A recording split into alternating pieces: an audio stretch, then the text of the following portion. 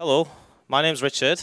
Up until last year, I worked for a projection mapping company called Projection Artworks in London uh, for about six years. So we've done quite a lot of shows uh, in using Touch Designer for a lot of mapping shows and Disguise and other things like that. So um, today, we're just going to basically talk about the different mapping tools in Touch Designer, what they are, how to use them, when they're worth, when it's good to use them, when it's good to use other tools, whichever tools you think are uh, better for which job.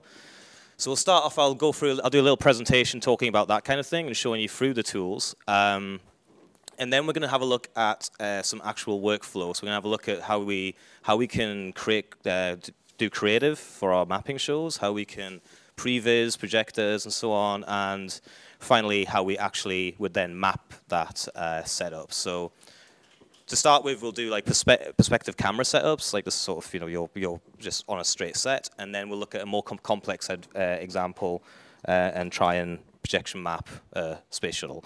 Um, so if I can put that back on the sign. Yeah, cool.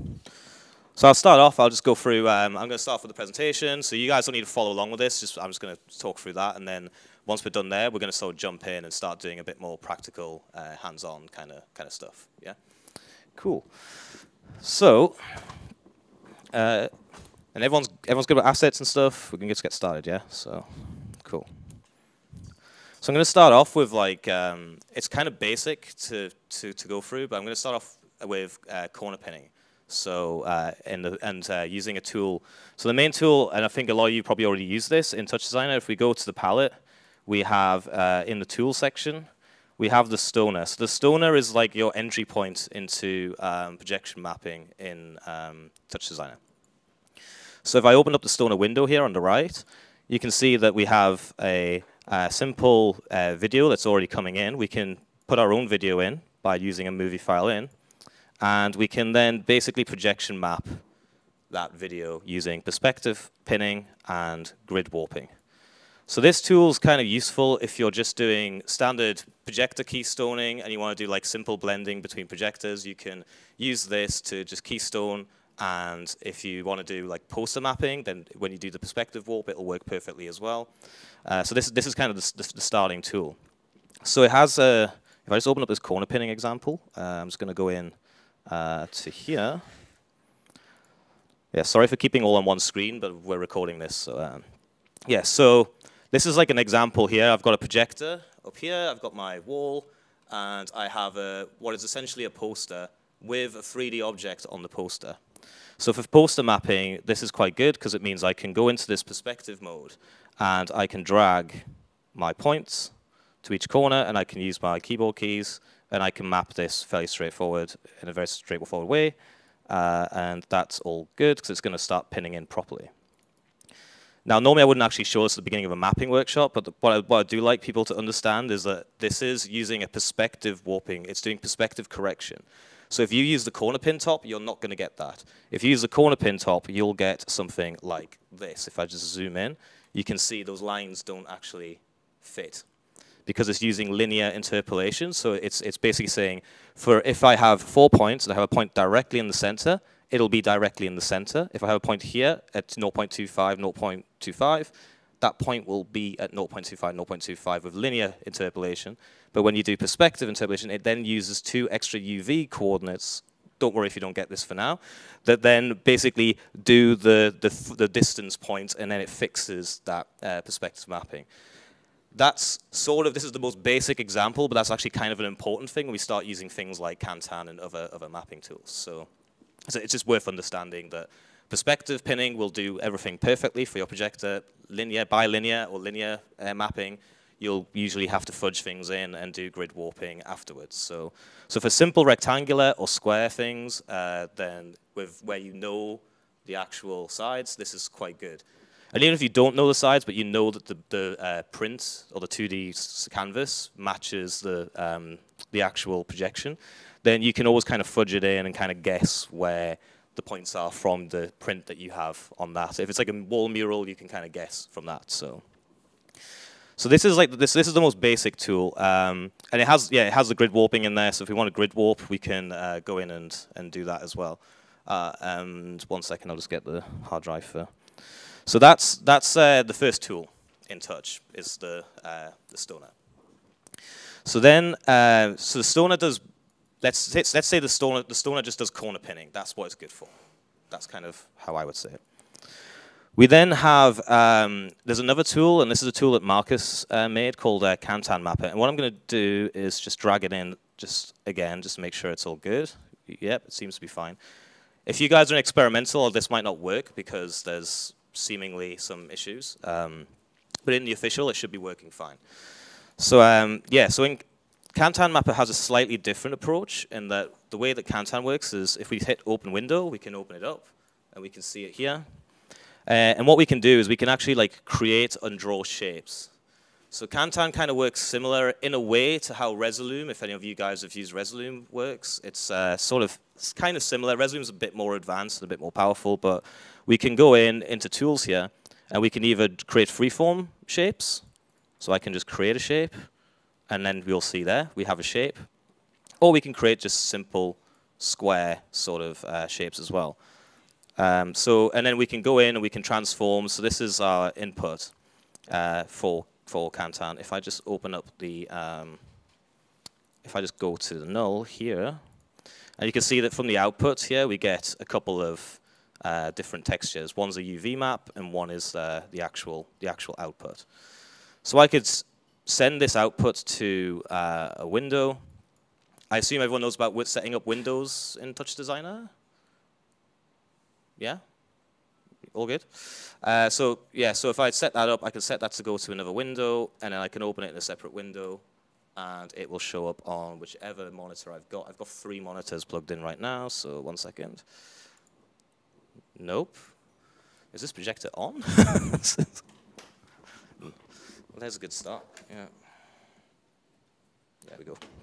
Yeah, so I can open up the output and then it will show whatever I'm, I'm mapping. And if I want to, if I want to actually take a texture, like a movie file in, then I can choose, let's choose, for example, the field guide for now.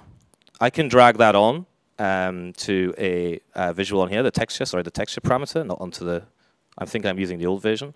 If I drag that onto the texture parameter, then that's now going to be using this texture when I click this little button which looks like it removes the texture, but actually what it does is it just says display that texture. And we can then start mapping our texture on the output. Sorry? Oh, this window. So, um, sorry. So if I go into, uh, so when you drag Kantan in, if you click on it, and then there's a little open Kantan window button on the on the right hand side. So if I click that, that's going to show up. Um, actually, that's kind of annoying because we've got the we've actually got like that duct thing or whatever, and the let me just move it. Let's just move my window over a little bit, just so it's a bit. Is that better? Maybe. You can actually can you actually read those parameters as well because they're quite small. Um, yeah, you all good? Yeah, so we have. Um, so are you guys following along? Yeah. I know I'm going quite fast here, but this is more about presenting the tools. We're actually going to start like using them more later on, so it's more just. Uh, so um, yeah, so we can add we can add multiple shapes, and we can have uh, either the same texture or multiple textures in here as well. Um, so here I've, I've I've attached it to a freeform. You can see that it's um, it's actually using the grid and it's cutting the grid off. Uh, so if you want to go edit that, you can go into edit texture here on the left-hand side. And when you, we open that up, you've got um, like these tools for sort of changing how your input texture comes in. So for people who've used Resolume before, like you always have that input sort of page where you kind of draw your things on. This is kind of Kant, Kantan's way of doing it. It's sort of a bit, it's a little bit clumsy to use, but it, it works uh, quite well. So for things like like just doing like 2D um, mapping onto cube faces or things like that, Kantan's quite useful. It's pretty good, um, but it sometimes can be a little bit buggy. To be quite honest, it can be a little bit fiddly, and over different builds, it can sometimes kind of break down a bit. It's it's I've never found it truly super reliable, so I kind of I generally don't use Kantan. In fact, last time I used Kantan on a show was back in 2011, I think. so like eight years ago. So, um, so just so you guys are aware, there are it, can have its teething issues sometimes. So just that that's one of the things that uh, we need to be aware of when using Kantan. So, oh, you guys all right? Yeah. So, um, so first, so we have our corner pinning tool, which is the stoner. We have our sort of drag a clip on and then kind of move it and do like sort of individual face mapping stuff, which is Kantan. So they're the first two mapping tools. There's another two, uh, which uh, most people kind of use. Uh, this, this third one is a tool which is um, not really, it's not an official derivative tool. It's actually one that a guy called Dev Harlan made uh, called VertPusher. And that just allows you to basically bring in a 3D mesh uh, or a 2D mesh and then kind of warp the points on it. So, so if I go into uh, my, which one am I using? Sorry, one second. And as I say that, it's, oh, where has it gone? it's somehow disappeared. That's strange. Uh, one moment, let me just pull it back in. let me just pull that back. Um, in fact, I'll pull it from, I'll pull it from in here. Let's quickly pull it from that. So, yeah, so anyway, so VertPusher is um, basically what, what you do is you bring in a mesh and then you can kind of, uh, you can just warp that mesh. And the easiest way to do that, if I just show you a quick setup now, uh, is let's say we have a, uh, so let's call this uh, VertPusher for now. This is a tool I'm actually going to release next week. It's kind of still got a couple of little niggly bits, but uh, I'm going to re-release VertPusher because it's, it's had lots of iterations over the years, so it's a bit uh, a bit clunky. But let's say, for example, we um, we had a box, and we want to projection map that box. So I'm just going to create a box here, um, and then what I'm going to do is just transform it. Oh, rotate it. And then I'll just bring the tool in, one second, it's in here, in my, I'm just pulling it from my show that I used it for, so here we go. I'll, uh, I can give you guys this at lunchtime or whatever as well, so uh, I don't know why it's disappeared out of the uh, folder. But um, So yeah, so let's say you want to projection map this box, so we can set up a camera. Uh, da -da -da.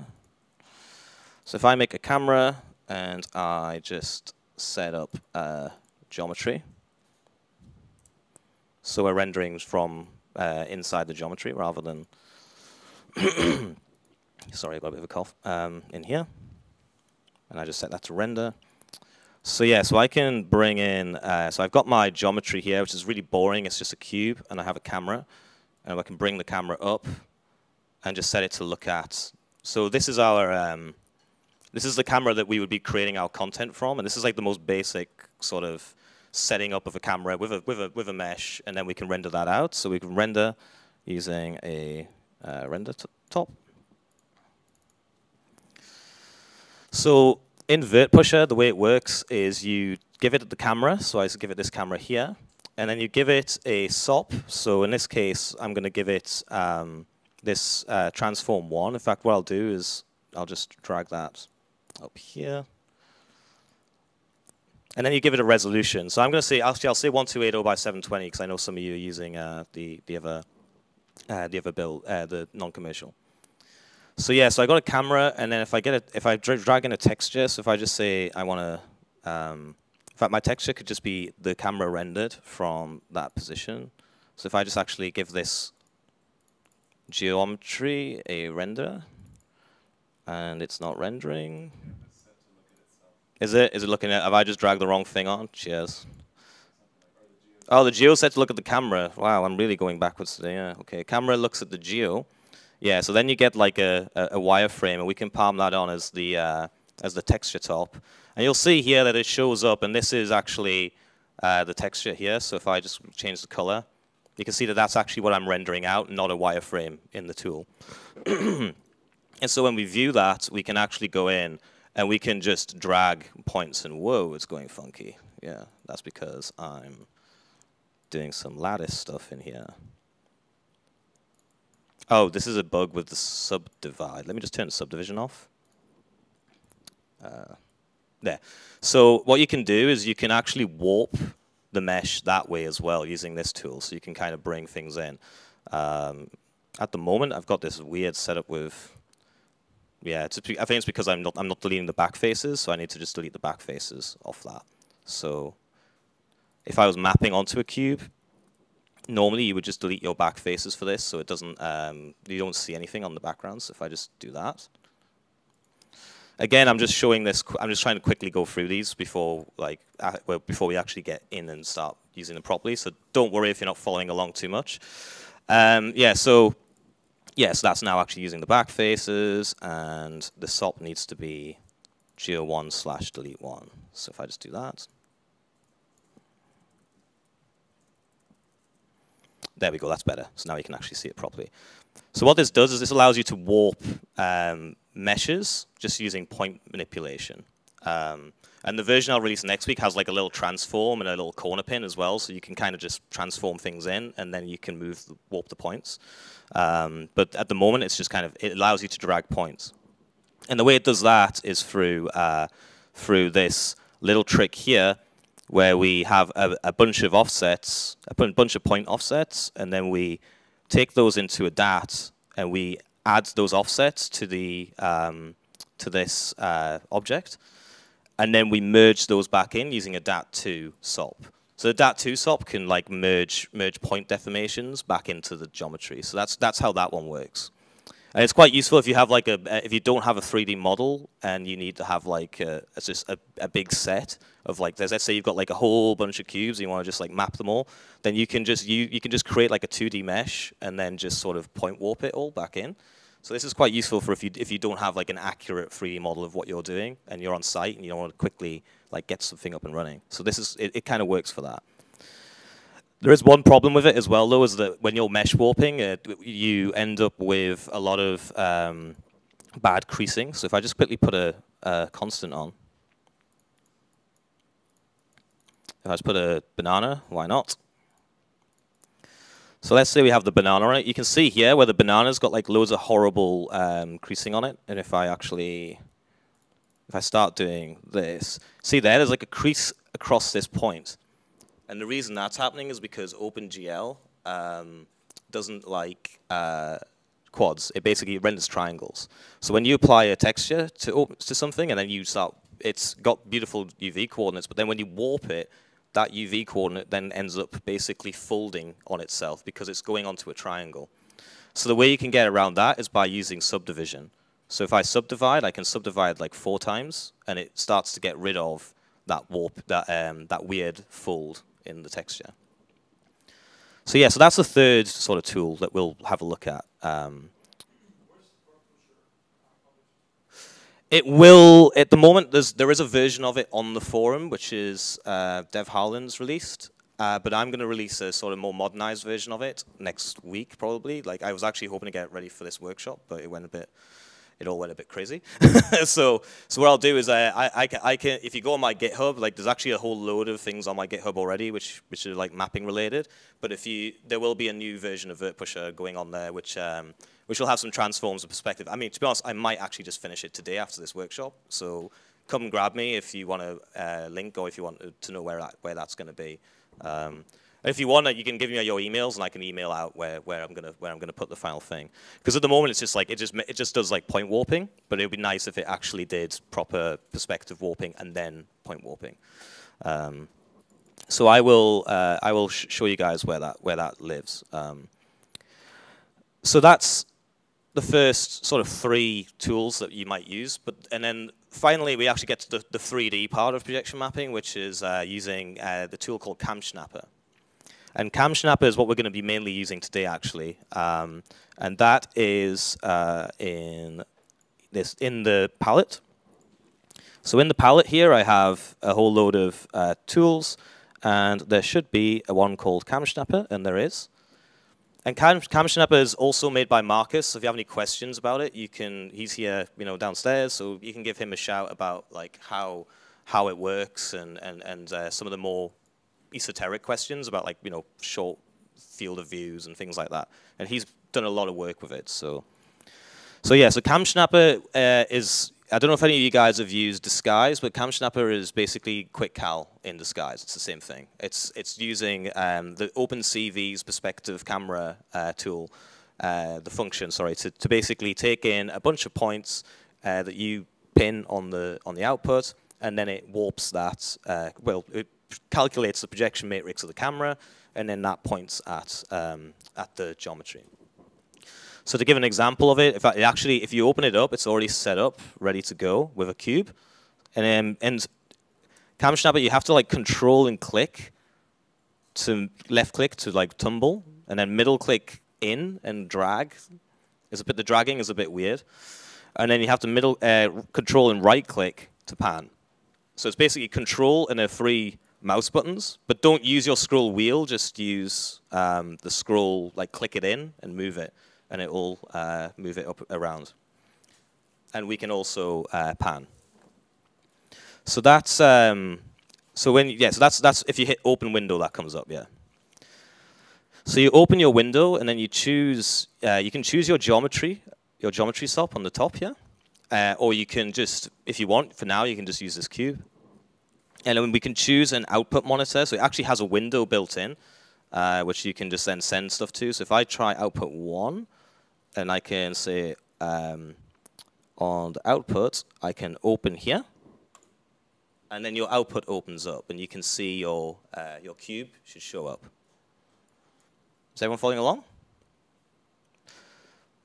So now that we have our cube on the screen, we need to map our cube. So if we were to click a point, on the main interface, which is on the left here. I'm just clicking on this point. And then I can move my mouse onto the output. And I can actually, if, let's imagine we have a cube there, I can actually drag this, this little crosshair to, so this is the top left point, I would drag it to the top left point. And then I would add, you have to add up to five points before it calibrates. So if I add like, you know, zero to four, you'll see here, now we've got, the cube is showing up, but it's all mangled because our calibration is completely out. But if I drag it somewhere where roughly it might be, so if I say my 4 is going to be roughly around here, and my 3 is going to be somewhere else, it starts to try and calculate where that cube actually is. And again, I'm just sort of showing this for now. We will actually get that projector aiming at these models, uh, and we can have a look at, at how, the, how that works.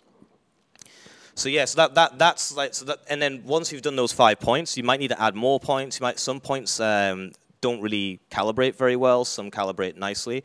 It has this little uh, on the on the very right hand side here where I've somehow gone full screen again. There's, you have this calibration error, and the calibration error, the closer to zero that is, it's like the better calibrated it is, and you can normally see it on the set. Whereas like if it's a little bit out, you can kind of you can remove points or add points. But the thing about CamSnapper is if you're using it, never try and do this kind of thing because you get yourself in a whole world of trouble. Like, don't try and like just mash it in because you'll probably get a little bit in trouble because then the next point you add will start breaking things. So just make sure those points line up correctly to your output. And again, we're going to actually demonstrate this on a 3D object so you can, guys can actually see it in action. Um, you don't you can actually, uh, so you can go inside CamSnapper, and you can actually go into output here, and you can right click and hit view. And that will actually open up your output as a full window. It's a bit clunky. Uh, it's designed, like CamSnapper is designed to be used with uh, a second monitor, but you can also say output is part of Canvas, and I think that will open it up. If I say output monitor zero, that's going to open it up on my canvas. So I can set like a small resolution, so I don't know, like 1024 by 76, uh, 768. I could set like a small resolution. I could just play with it in the corner, and then when I'm done, I can hit escape. So you can do that as well. If, if you turn on the um, output as part of canvas parameter, it'll just open up wherever you want it to open up on your output. So that's quite useful too. and there's a whole other load of settings. Like for example, if your geometry comes in and you have like really bad um, uh, like sort of reversed normals, and you can reverse those uh, in here. You can turn off the guides and things. Um, so just open one second. Let me just open my output. So you can like turn, yeah, you can turn the guides off and on. You can um, like color geometry randomly or not. Uh, you can choose like a background color map as well. So there's a few things you can do there. Just they're they're more like just to help you like visualize what you're doing as you're as you're using it. So um, and you can clear the whole mapping. So if you want to start again, you can hit clear. Um, and then it gets very clever because you also have this auto blending system, um, which I'll show this afternoon, which allows you to uh, sort of just blend multiple projectors together. It's it's not quite Disguise's auto blending tool, but it does help. So um, as with Touch Designer, there's, there's a lot of like things which are sort of it's sort of it's built by Markus like in his spare time, so it's not you know it's not like built by a whole team of devs. So it's it's got a few little weird bits like with the with the auto blend. It's a little bit odd, but you can you can usually um, you can usually use it and just change the gamma around, and it works quite well. So so yeah, so CamSnapper is um, is the is the fourth uh, sort of projection mapping tool in Touch that people generally use. So those are the four main tools. I mean, it depends what you're doing. Like so, for for 2D stuff, um, then use the uh, Stoner with rectangles. If you're doing uh, just you just want to have like individual faces doing stuff. So let's say you've got like three big uh, sort of like long banners or something, you can use Kantan to do each of the three banners, and you can put your textures on that. If you want to do like a, a sort of setup where you haven't got a 3D model, then or, and you know or, or you don't know if your 3D model is accurate, because with CamSnapper your 3D model has to be accurate, then you can use Vert Pusher and move the points into place and just point warp it. And then finally, the most useful one probably is CamSnapper because you can just bring in your model, move a few points, move it up to five points. And if you've got a really complex model with like hundreds of points, then it will still snap into place. So the shuttle has like a whole load of points and it's all about just finding the features on the model and make and just moving to those features and it will it will pop in.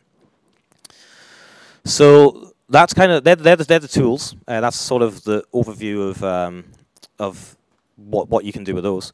Um, oh, there's my mesh. There's my mesh warper. There it is. Weird. So yeah, so that was the example. I don't know why I couldn't find it, but uh, that, that's the example of um, if you move, you can move the points to the point, uh, and then that will start to to map nicely in. So those are the tools. Now the the, the next step um, is let's start. Let's go all the way back to the beginning, and let's actually just talk about um, building projection shows. Because the first thing you need to know is, well, a, what am I projecting onto? Is sort of number one, and then B is well, I'm projecting onto I'm projecting onto a set or something, or I'm projecting onto a sphere, or I'm projecting in a dome. You know, there's all these different different canvases that you can have. And then the second step is, well, where do I put my projectors and what projectors do I use?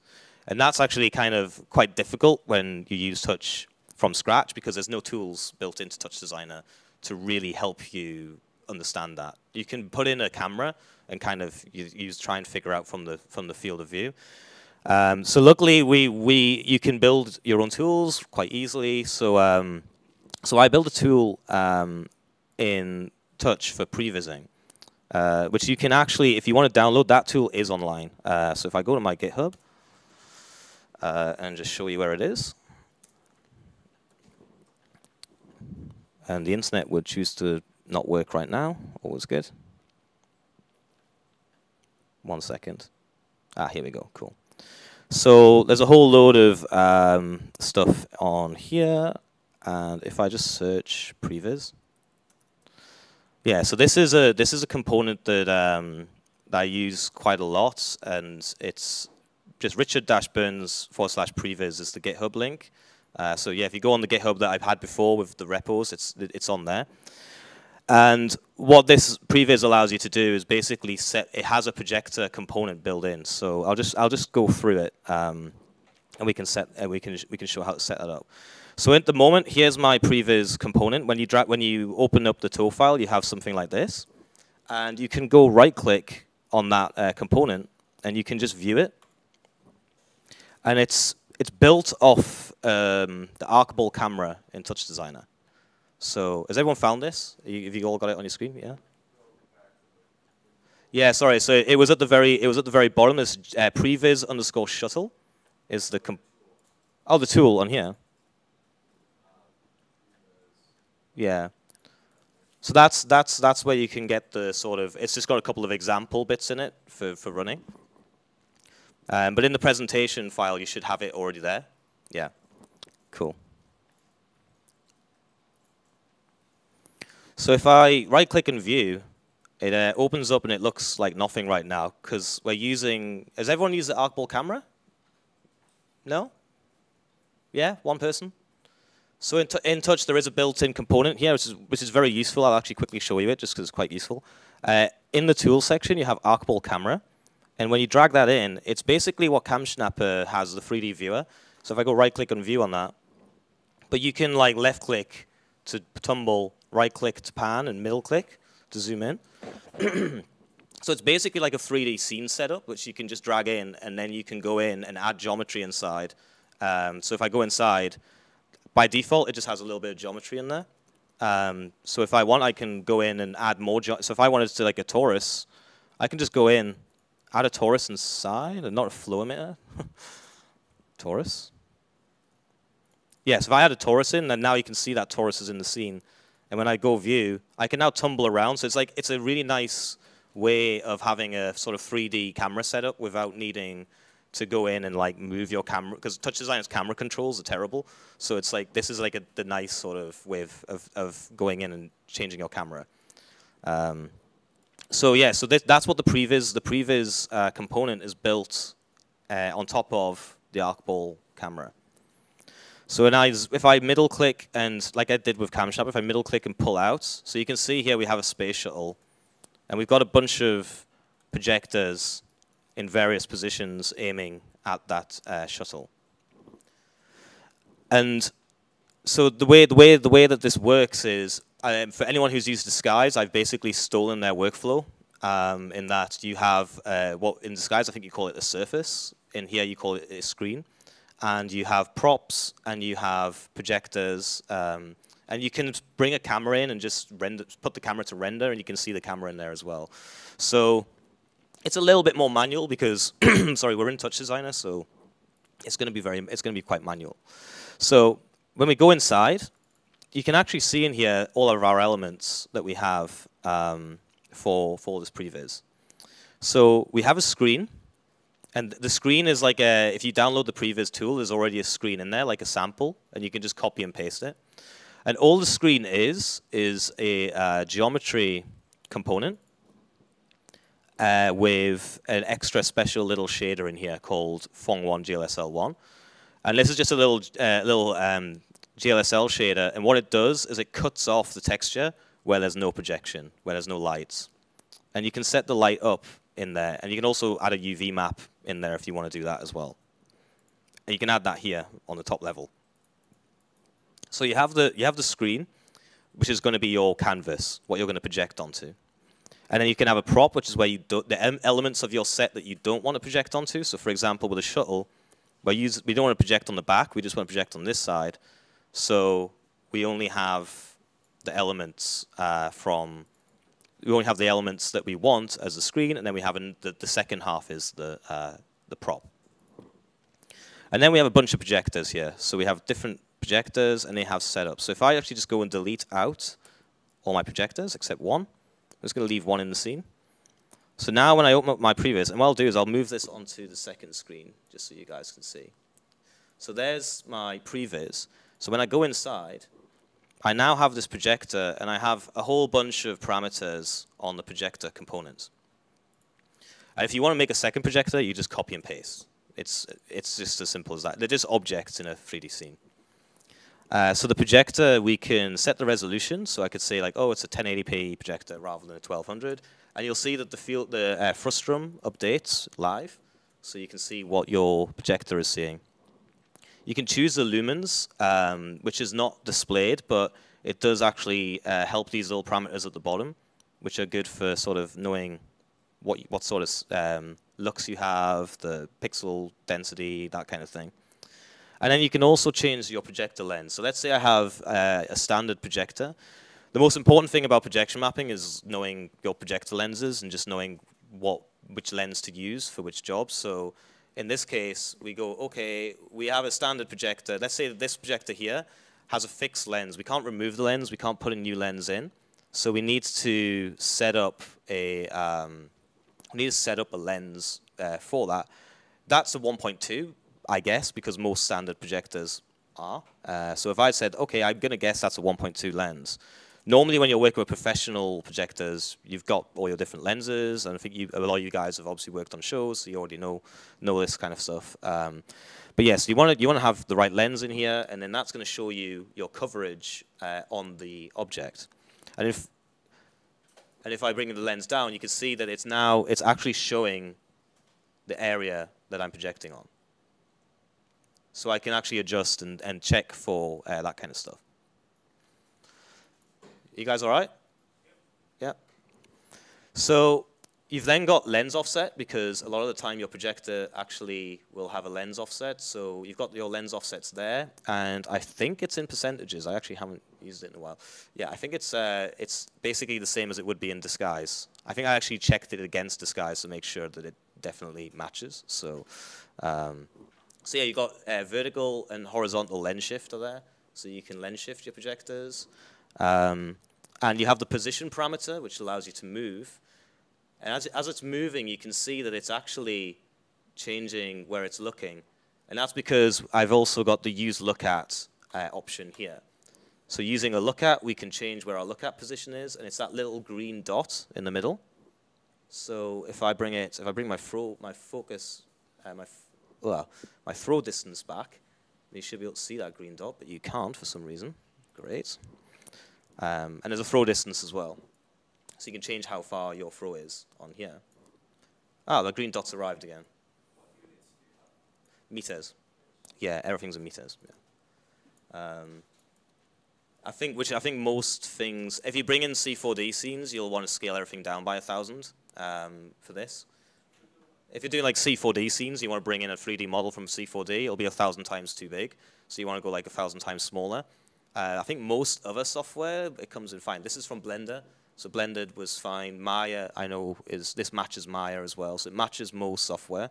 For when you're bringing in 3D objects, it's just um, it's uh, just C4D that for some reason. And in C4D, you can scale your project down when you're finished, kind of thing, and just ship it out as well. So, yeah.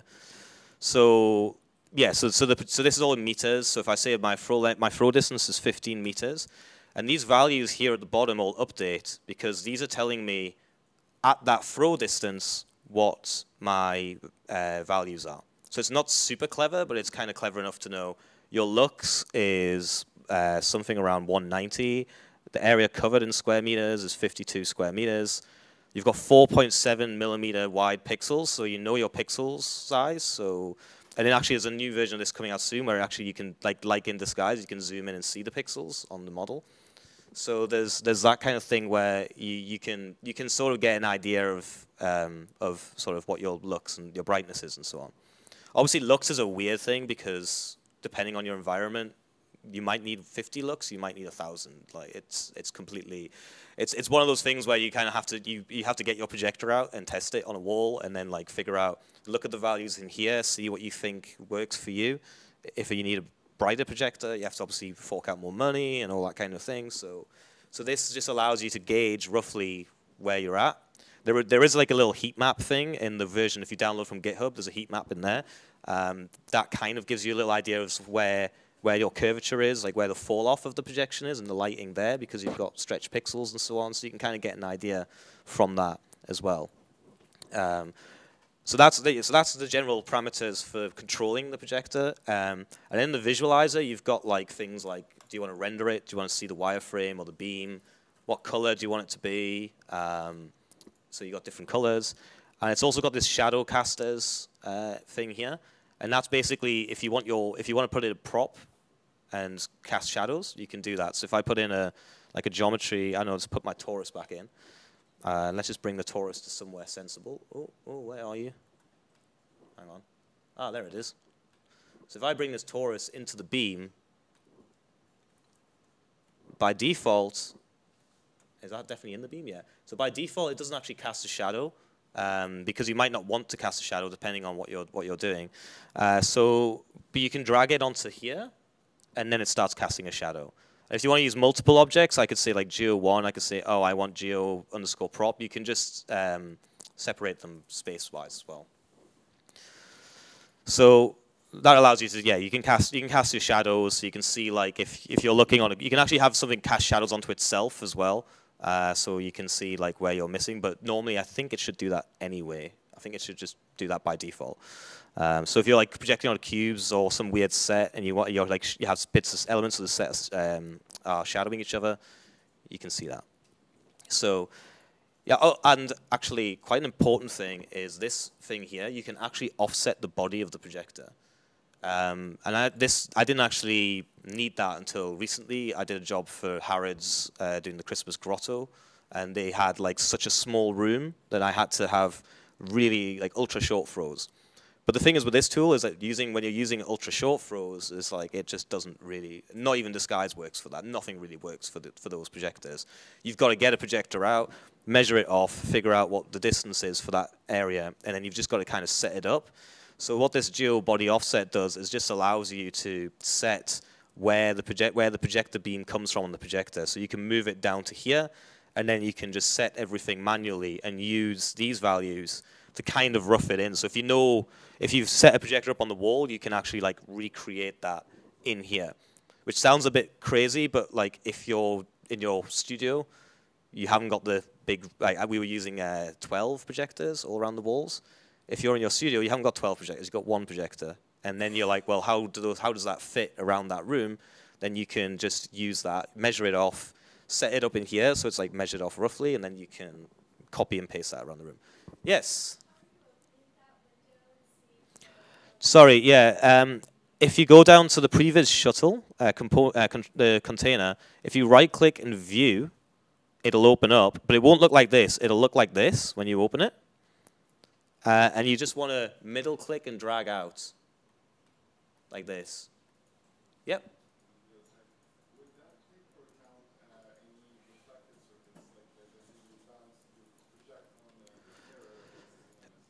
Uh, sadly, no. I did have, it's not in here right now. I have built one before where it does actually take the field of view and then does, for, for, are you talking about for like, you've got a projector and a mirror and you want to like project onto a table or whatever? like that kind of setup. Yeah, at the moment there's nothing in there. I I I can put it in. I could I could put it in.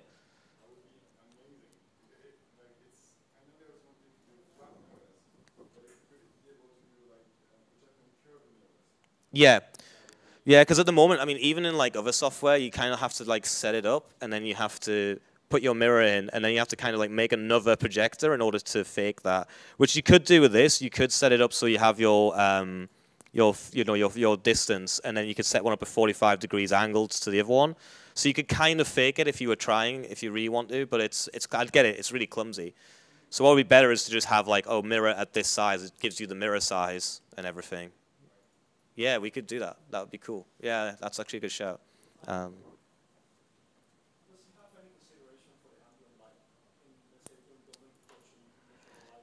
Not in this one, no. It has it has a bit.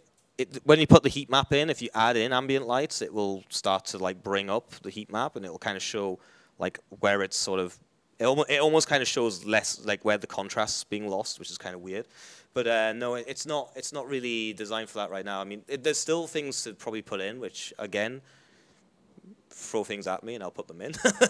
it's like it's uh, it's one of those. It's it's all these tools are made by the community. They're not made, you know, by derivatives. So like they're always we're always like adding things in and changing things around. So um, so yeah, I think like once I get the I, I, once I get the pixel stuff in, I'll probably put in um, some of yeah I could put in some of that kind of stuff. Uh, this is actually there's also cameras coming as well. So camera proper camera setups and stuff will be will be arriving soon. But at the moment, it's yeah it's kind of it's clunky, but it, it kind of works. That's the the thing and it's free, so you know. so so yeah, so I think that's that's the projector. I've pretty much gone through all the stuff for that. Um, yeah, and then uh, actually, just to show, just so you guys get an idea of what, how it works inside the projector, it's literally just a camera and a light. So uh, if you want to view through your projector, you can set up this second render here called projector view, and that just shows you what the projector is seeing. So if you want to like just sort of kind of roughly map something in and just see what the projector is seeing and see, you know, where this, you can kind of see where the stretch pixels are on that as well.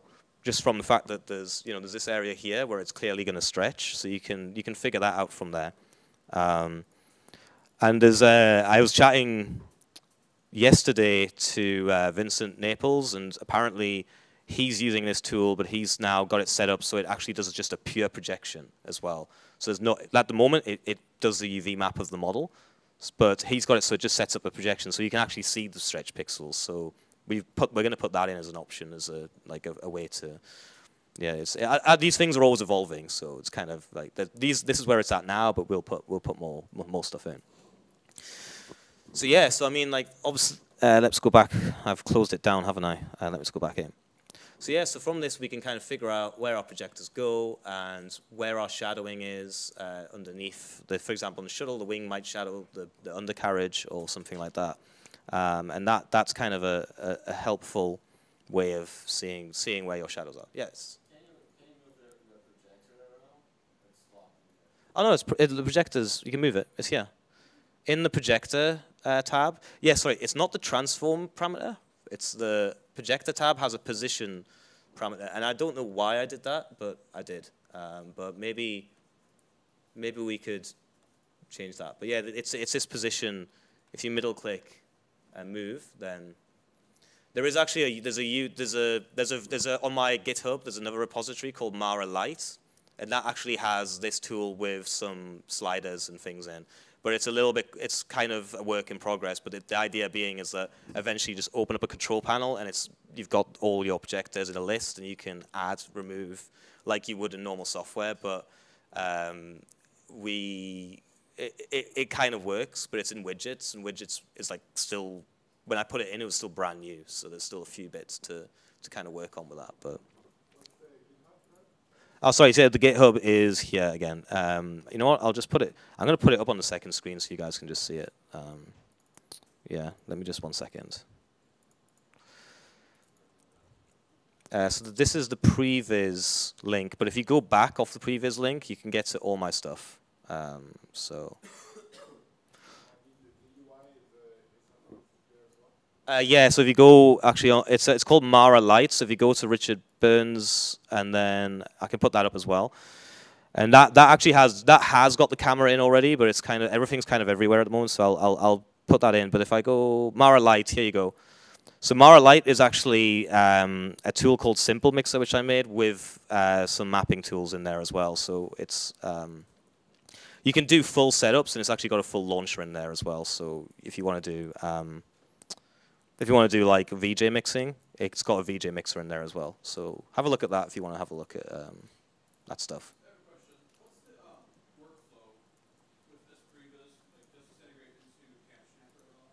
It does. Yeah, we're going to go over that now. Yeah.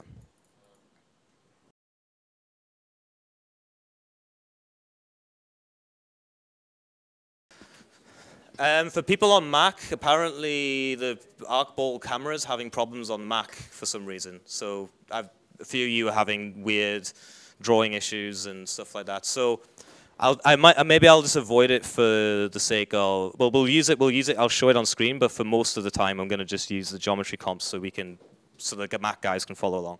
Um, all good? Yeah, all right, cool. So I want to talk a little bit about um, a little bit about set design in a way because there are things that are easy to do in CamSnapper and things that are quite hard in terms of the 3D 3D mapping. So I have a bunch of sets in here. And this is some things that previs might the previs won't really help you with. Um, so I'm going into previs sets here, which is another previs uh, with just a bunch of stuff in there in the scene.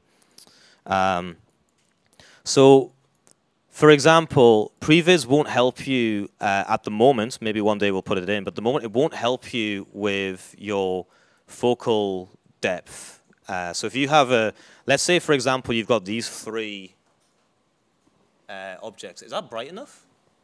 Or is it just because the glare? I'm getting the glare from the window, so I can't even see it. Um, so you've got these like, let's say we're doing like these three objects here if you want to set your projector up, let's say this is our projector is projecting from the from the scene. The problem is the projector obviously has its focal its focus point, and so you'll have focus on the front or the middle face. Whichever face you focus on will have all the focus, and then the other, the other sets will not have.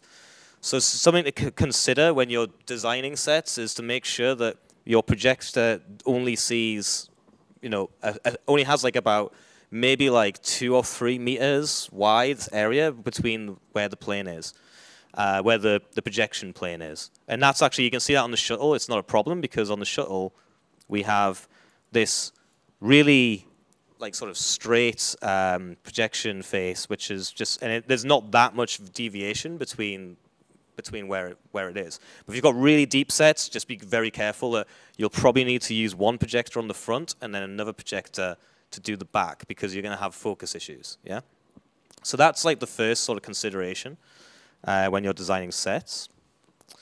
Uh, another consideration, and this is something that someone actually did to me, is that they set up something like this set over here, um, where you can't actually the set's shadowing onto itself. And generally, it just looks really naff whenever you have a set that's shadowing onto itself. And even if you think that you want to have a set with different projectors, and then there's a projector in the middle projecting on the behind, be very careful because when we go into perspective camera setups, when you're rendering your content from the person's perspective, they might not be able to see behind, and therefore your camera can't see behind and you can't make content for that area of the projection. We can, we can look at that when we're setting up our, our scene, our cube scene. I can kind of show that. So that's another thing to be kind of wary of is like, don't really go down that route. Other good things like this this one here is quite nice because we have a flat surface and when whenever you have a client, they usually want to put some crap video that they found on YouTube or something, um, and then do some nice mapping around it. Having a 16:9 square on your set is sometimes really useful for that because you can guarantee that at some point someone will turn around and say, "Oh, actually, we wanted we want to put this thing on," and you can normally embed it in for like nice like sets like you know, sets like this one, you can normally just like put a video flat, like flat on, like an orthographical map, and it'll work. But for certain sets, it doesn't work so well. This set here um, is another example for CamSnapper is difficult because you don't have many reference points. So you only have you have a curve, and you've got four points that are knowns. Everything else is kind of kind of unknown. So when you're doing a set like this, you have to be kind of careful about how you um, how you actually you know set your your mapping up. So what what we did, for example, we did a we did a job um, onto a, a, like a perfect sphere basically, and a perfect sphere is like your worst nightmare, and or a dome is your worst nightmare. And some um, some of you might have went to the dome uh, workshop yesterday where it's like kind of setting up all these projectors. Um, but for a sphere, it's really difficult because you have no reference point. So what you have to do is kind of, when you get that sphere manufactured, you have to make sure that you have reference points on the sphere, even if it's little pinholes or if it's, uh, one time we just put in um, fiber optic into pinholes so we could just turn on a bunch of LEDs inside the set so you can then map to that set. Um, so that's like one, or one option might be to try and do some sort of weird Kinect kind of, or depth camera kind of um, uh, test, but it's quite difficult to map spheres, so it's just that's just something to bear in mind as well when you're designing sets and things.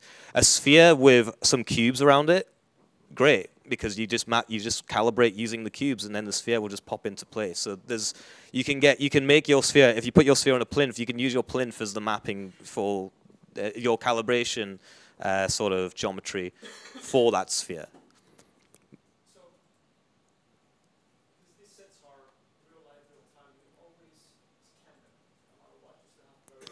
That's so no.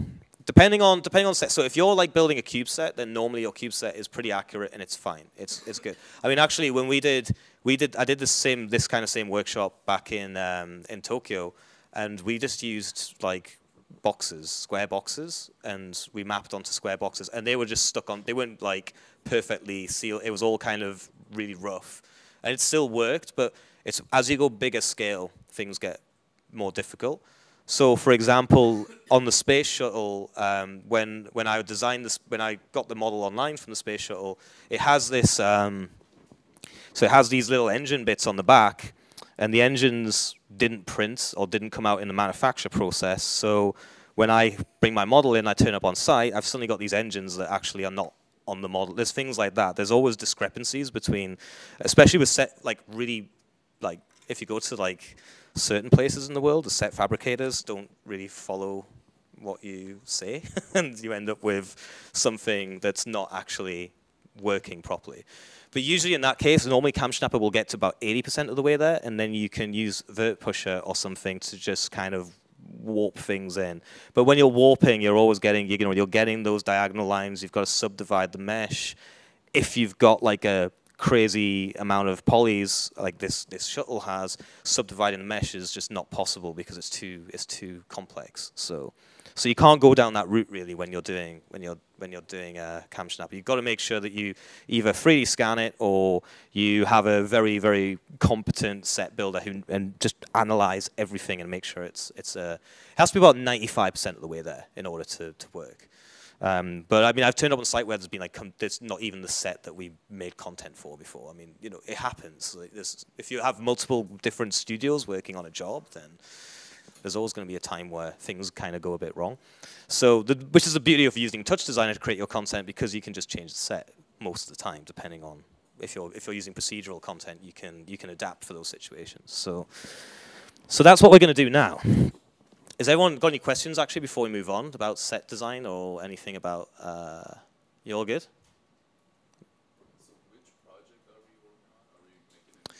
We're gonna make a new project. Yeah, we're gonna sorry, we're gonna make a new project. We're gonna bring in this cube set, and then we're gonna we're gonna start doing some stuff with it. We're gonna start do, basically doing some creative, because we've been talking about technical stuff for a while now. So let's go into. The All right, cool. So we're gonna start a new project. Uh, what time is it now, actually? Before I start that. All right, cool. We're doing good then. Okay, so I think what we'll do is we'll spend an hour setting up um, setting up our canvas uh, and getting our model in and sort of and figuring out like how we would do that in Touch Designer. So Touch Designer has some primitive UV tools in, but obviously nothing like you know Blender or Maya or whatever where you can do clever stuff. So, but for these cubes, Touch Designer is more than enough to, to get the setup. So, so let's start a new project. Let's. Uh, I'm just going to quit out the presentation. Question: You're recording just the first monitor, right? Not what you're outputting to the second one. Yeah, unfortunately, I'm only recording the first one. Yeah. Um, but we're going to be working on the first, for this side of it, we're going to be working on the first one. And I pretty much ranted on for the first few hours, so we'll, uh we'll go a little bit slower now. I'll slow down, I promise. cool. Okay, so in your assets folder, you should have, he says, I'm in the wrong project again. Hang on, one minute, let me get in the right one. Uh, projects. Uh, I'm going into da, da, da, projection. Okay, whatever. I keep forgetting what I call my GitHub repository. Sorry, yeah, mapping workshop. That helps, doesn't it? Yeah. Okay, so in here, in your assets folder, you should have in models. There should be the cubes. The cube setup should be in there. So you drag that in, you should see a set of cubes. Has everyone got that?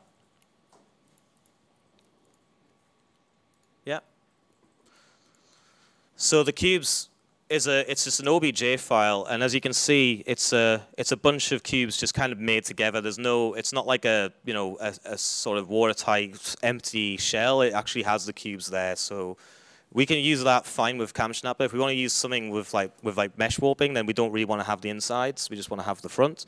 But because we're using CamSnapper, we can just bring in whatever model, no matter what. Maybe normals are a bit of an issue, but normally you can just bring in whatever you want and it's fine. So, so to set up a canvas, um, what I'm going to do is actually I'm going to set up a 3D pipeline. So I'm going to set up a camera. And if you hold down control, you can do this just by like clicking, it won't close the op dialog. So I can say camera, geometry, and light. So has everyone got those three?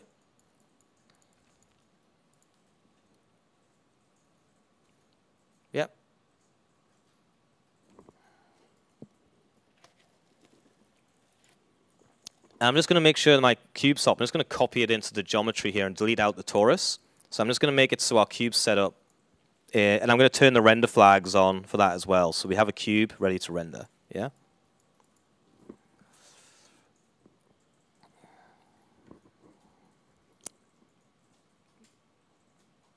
Has everyone got that set up?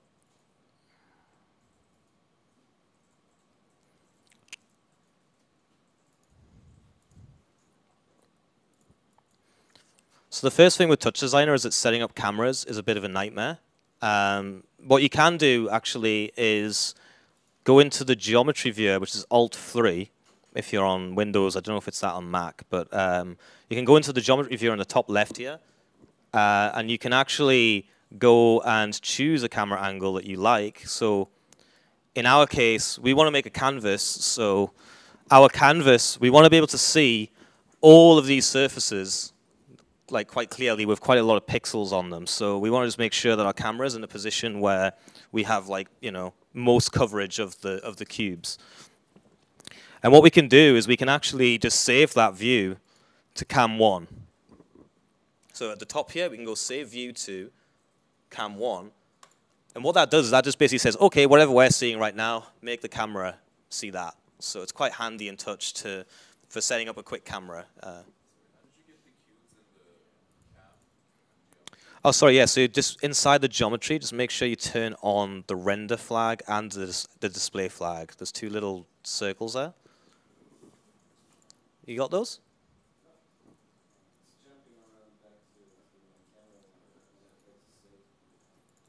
When you go to, sorry, one sec.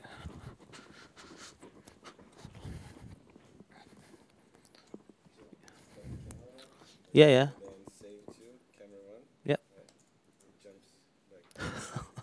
You're on Mac. Saving view to camera doesn't work on Mac. okay, I'll tell you what, I'll show you the hard way then. so actually, if you want, what you can do is you can, if I just, uh, I'm just going to delete my camera and recreate just so I can show this quickly. Uh, what you can do is you can just move your camera up a bit and then just set it to look at the geometry. And then you'll get something. And if I make a render, sorry, as well, then you should get you should you should be able to like move your camera into a reasonable place. Um, except for some reason, actually, look at's terrible. It's not working. So we can we can rotate the camera in the x not x x axis, yeah, x axis, and then move it up, and that will give you pretty good coverage. So actually, yes, if you look at my camera settings, if you do something like that, like minus 45 degrees maybe, and then bring it up to sort of, actually maybe less than 45, maybe 40, and then bring it up to about uh, 7 meters high. Then you should get something like this. Oh, sorry, I'll get those camera parameters on. Out. So you can, so if you just make sure that you have all of the cubes in your render, something like this maybe.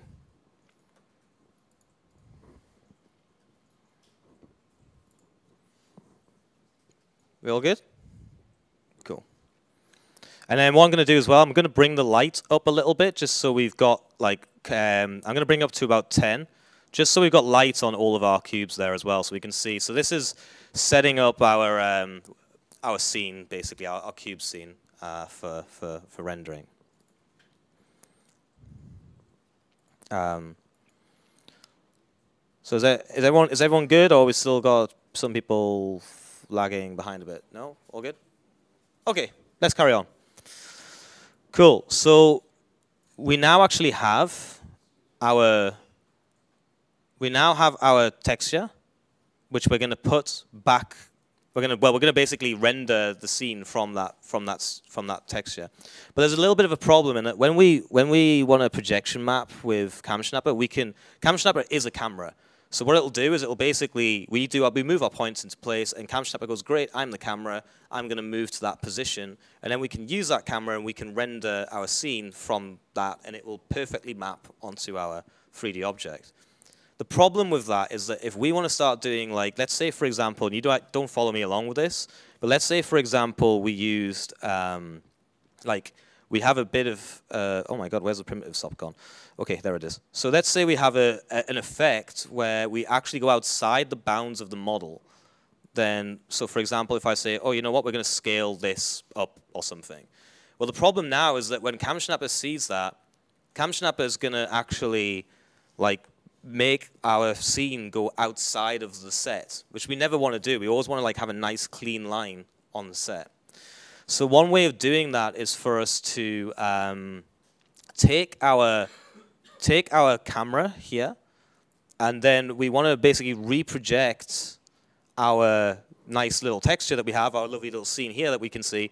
We want to reproject that onto a new mesh and then use that for CamSnapper. So what we want to do is we want to set up a UV map. And UV mapping is like a whole big topic in itself. But for now, we'll just we'll, we'll talk about UV mapping with the shuttle this afternoon. But for now, we're just going to use uh, a standard perspective camera-based UV map. And we'll go into previs after this just to talk a little bit about perspective cameras because that's a bit of a topic as well, as well in itself. So at the moment we have this. So let's say, for example, we want to reproject this and we just want to map it right now. That's kind of our, our mission. So we have our geometry in here. This is our geometry and it's all good. Uh, there's no translations. Just make sure there's no translations, rotations in your geometry comp uh, because you're going to be working at the SOP level. It's just a bit of a, a thing.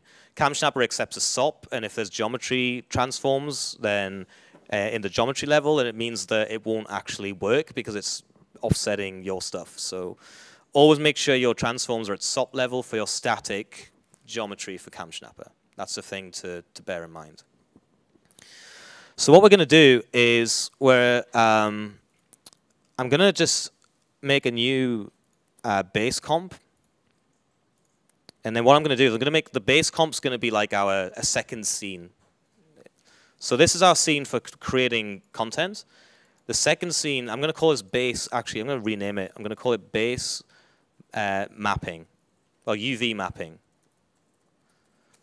And we're going to use this as another 3D scene that we can then bring our UV map into. Is everyone good? Yeah. So I'm going to uh, I'm going to go inside base mapping now. In fact, what I'm going to do is probably easiest is I'm just going to copy all of this stuff on the left, the camera, the geometry, the render, and the light. Uh, and I'm just going to copy that. I'm going to bring that into base UV mapping. And I'm just going to paste it. So we got like another scene that's the same scene, basically. So outside is our, our actual visual, and then inside is our, our mapping. Everyone good? Uh, and then I'm going to delete the camera because we're not going to use that camera. We're going to use a different uh, camera for, um, we're going to actually use CamSnapper as our camera for this scene. So, uh, and we're going to keep the light for now just for the sake of it. Uh, actually, no, I'm going to delete the light as well. Let's get rid of everything. And then let's give uh, our geometry, let's give our geometry a constant material shader. A constant material is just going to make sure we have no lighting on our uh, 3D model. It's just going to be, we can just put a texture on it, and it's just going to be that texture with the lighting that we set up in that texture. So it's all, it's all good to go. And what we want to do is our, our texture wants to be this scene here. But rather than using the render, what I'm going to do is I'm going to put a null. And I'm just going to call this null output. And this is going to be the texture map for our constant in here. So what I'll do is I'm going to go in, I'm going to right click, open up my constant 2's parameters in a floating window, and I'm going to go back and drag my null output onto the color map parameter.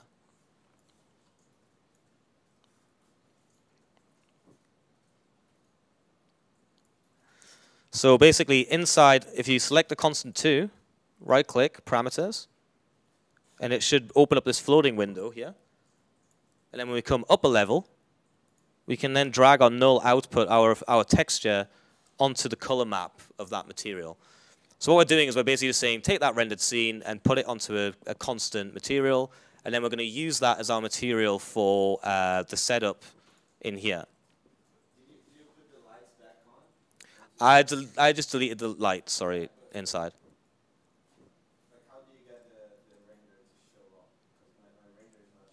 Oh, sorry, there's a light in this scene. It's the inside of the component where I've removed the light. So you need the, yeah, if you just keep a light with 0, 10, 10 on the top level, and then inside we, we have a, a different, a different setup. All right, so we have, we have our set rendered out from our view that we want to actually make our content from. So now what we want to do is we want to just reproject it onto the set in order to do the masking so that when we use CamSnapper, we've got a nice clean outline around uh, our sets. We're not to, we're not going to, we're masking everything off basically. We're not going to have any weird stuff going out of the camera bounds, which is what we don't, we don't want that. So, so if I go inside um, the base UV mapping, I'm going to go back inside there. And so the problem we have right now, uh, as you can see, if I go in here, you can see that our, our geometry is like, our, we can see our we can see our texture on there. That's fine, our texture's there, but the UVs are completely wrong. And so the way we do UV mapping in TouchDesigner is we use the texture SOP. And the texture SOP allows you to do UVs from all the different ways that you would create UVs in any other software. So orthographic, X, Y, Z, or cylindrical. So you can do cylindrical maps, spherical maps, uh, all that kind of thing. So if we go inside Geo 1, uh, and what I'm going to do, I'm just going to turn off the display and the render flags here. And I'm going to lay down a null. And I'm going to turn my display and render flags on on the null instead. So we can kind of put things in this chain uh, and render out from, from there. Yeah.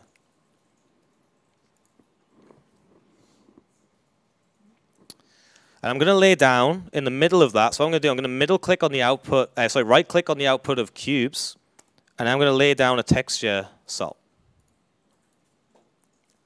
And you'll see that we have a bunch of parameters that we can now play with on the texture SOP.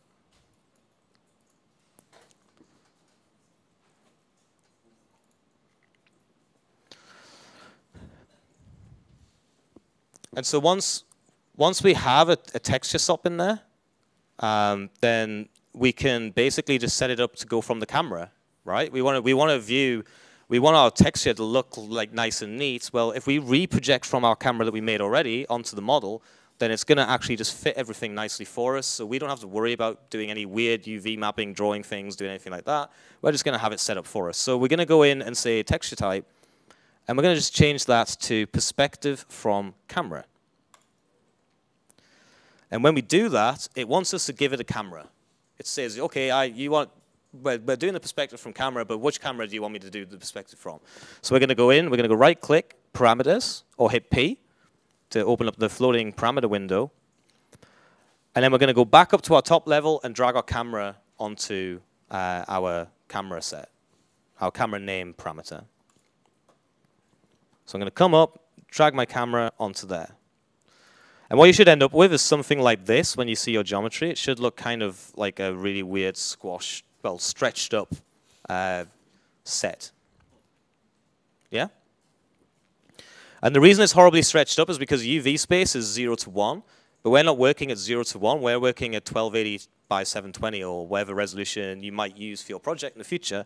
So we need to make sure that our resolution is actually set up correctly. Our aspect ratio is set up correctly. So you can either say 16 by 9 for the aspect ratio. I normally just put in the resolution and it just gives me a perfectly mapped cube.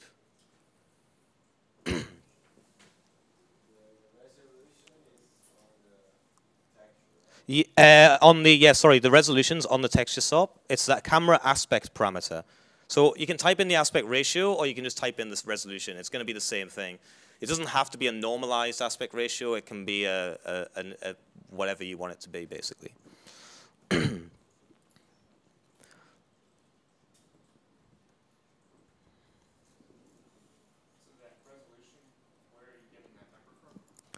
Uh, the resolution, sorry, that's the resolution of our texture.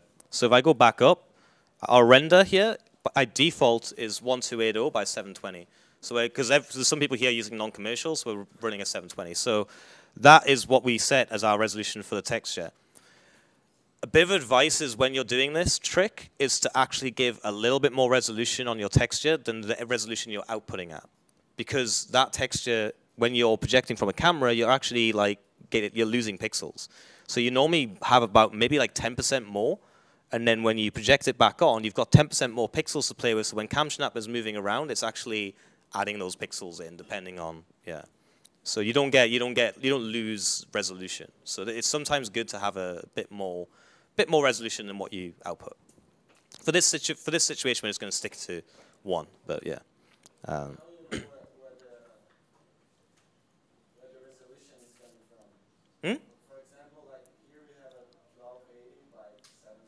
Yeah. From the from the render, so you can in the render, if you look, if you go to the common page, so every op, every top has a common page, and that has the resolution of the top in it. So for the sake of the render, that's a generator. That's like a, at the beginning of a network. So that's got a resolution by default of 1280 by 720. But if you want, you can change it to whatever you want. So if I said 920, 1080, it's still going to work. If I, even if I said like, you know, 800 by 600, and then go in here and set it doesn't work because it's 1280, but if I say 800 by 600, then that's actually now going to map perfectly onto my model. So you can use any resolution you think is. Whatever your output resolution is, plus a little bit more, is probably the advisable uh, resolution. But ultimately, it's whatever the projector is, right? E not necessarily. so if you've got one projector, it's whatever your output for the projector is. If you've got multiple projectors, you have to then do some clever figuring out for the resolution. So yeah, so let's say you're doing a 10% blend and you've got three projectors, uh, well, let's say two projectors because I can't be bothered to do the math. You've got 3840 by 1080 pixels, but then you've got a 10% blend, so actually you can probably take off 10% because you've got the blend there. And then you use that as your resolution, and then you make your content from that canvas. And then when you do CamSnapper, it, you map your two projectors, and it automatically has now 1920 1080, 1920 1080 ready to go, and then you do your blend. So you can you can kind of set a big canvas all in one scene, all in one model, and then you you set that up. So for us right now, it's just one projector looking at some cubes. But we can maybe look at the shuttle. Maybe at the end we can have a little look at multiple cameras. Because uh, for the shuttle, we're going to have like a long, thin UV map. Well, it's actually square, but we'll go into that this afternoon. But yeah, we're going to kind of look at more complex setup like that. Yeah. So. So um, yeah, so sorry, we is everyone good with the render? They've got this, their cube set looks like this in their UV mapping section. Yeah?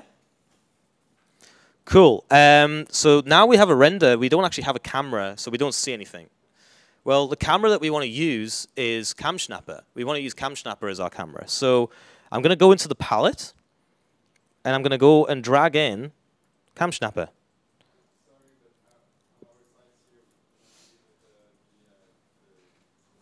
Guys, while, so while everyone's catching up, I'll just quickly explain why that's important that we have this mesh. Um, so if I go into my original canvas now and try and do what I did before with the primitive, so let's say I go back in, I make my, you, you guys don't need to follow along with this, I'm just quickly showing. Um, so I go in, I make my primitive, and I come back. So now when I go into UV mapping, I can go, okay, I've got my primitive like going crazy outside of the mesh, and you know what, I'll just set up a camera just quickly to show that, because all right, cool. So I got my primitive going crazy out of the mesh, but you can see here that it's not actually now going outside of this um, mesh. In fact, I just set that to uh, 5 by 5 minus, uh, what was it, minus 40. So yeah, so there you go. So now, now when I do my weird, I'm doing my, my, my visual effects are not escaping the set because I've reprojected them back on. So I'm essentially using the set to mask itself. Uh, so we, we've got a new, we've got like a double render pipeline. One rend, sorry. Uh, without, sorry, so sorry, by def, oh, without it, yes. Yeah, so sorry, without it, it looks like we can see it here. So without it, this is what you get, right? You don't, it's not, it's not, it's not masking off the set. But then when you go in and you remap it, you get the nice edges that your set has. So what we're doing is we're setting up a render pipeline for our visuals that we're going to create things with, and then we're setting up another little render pipeline and saying, okay, take that visual, apply it to the model, and if you, anyone who's used Disguise or whatever other tool, uh, media server, you have a you have a screen, you have a set, you put your screen uh, surface, sorry, you put your surface onto your set, you render it out. That's what we're doing in this second setup here. We're doing a similar kind of thing. So um, so yeah, so we don't need a camera. Oh, why is CamSnapper now erroring? Great, lovely. I'm going to bring CamSnapper back in again because it's not working. Okay, so we can bring CamSnapper into our UV scene. And let me just delete this. All right. So we can bring CamSnapper back into our UV scene, and we can set the render to look at that camera by basically clicking the render one, dragging CamSnapper to the camera component on there. And you'll see something like this shows up. By default, CamSnapper has like a, a setup there. So So let's actually quickly map it. I'm gonna move this projector to look at these cubes, and then we can like have a little look at how that works. So, so the first problem I've got is right. I've just set up my projector and it's not in focus, so we need to focus it in. But I'll so I just want to put up a test grid to do that, and then we'll go into into CamSnapper. So if I just quickly bring in a movie file in.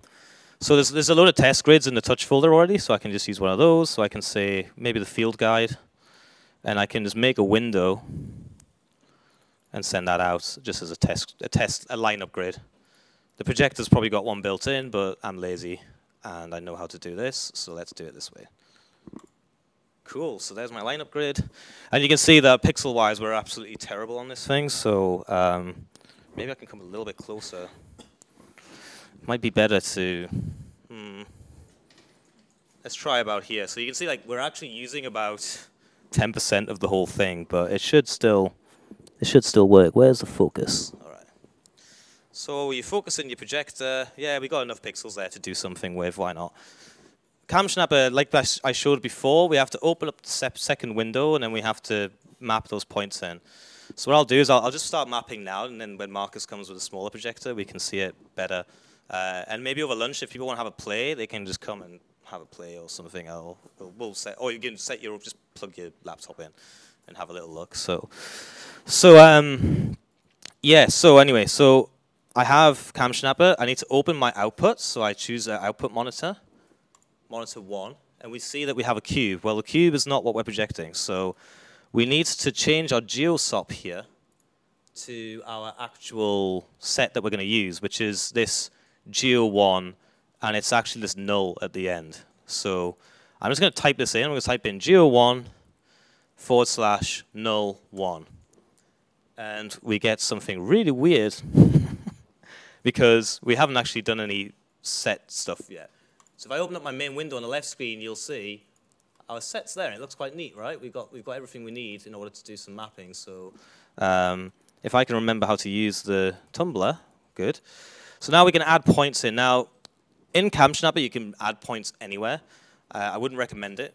I would only ever add points where you've created a point in your 3D model. That's a better place to, to, to do that.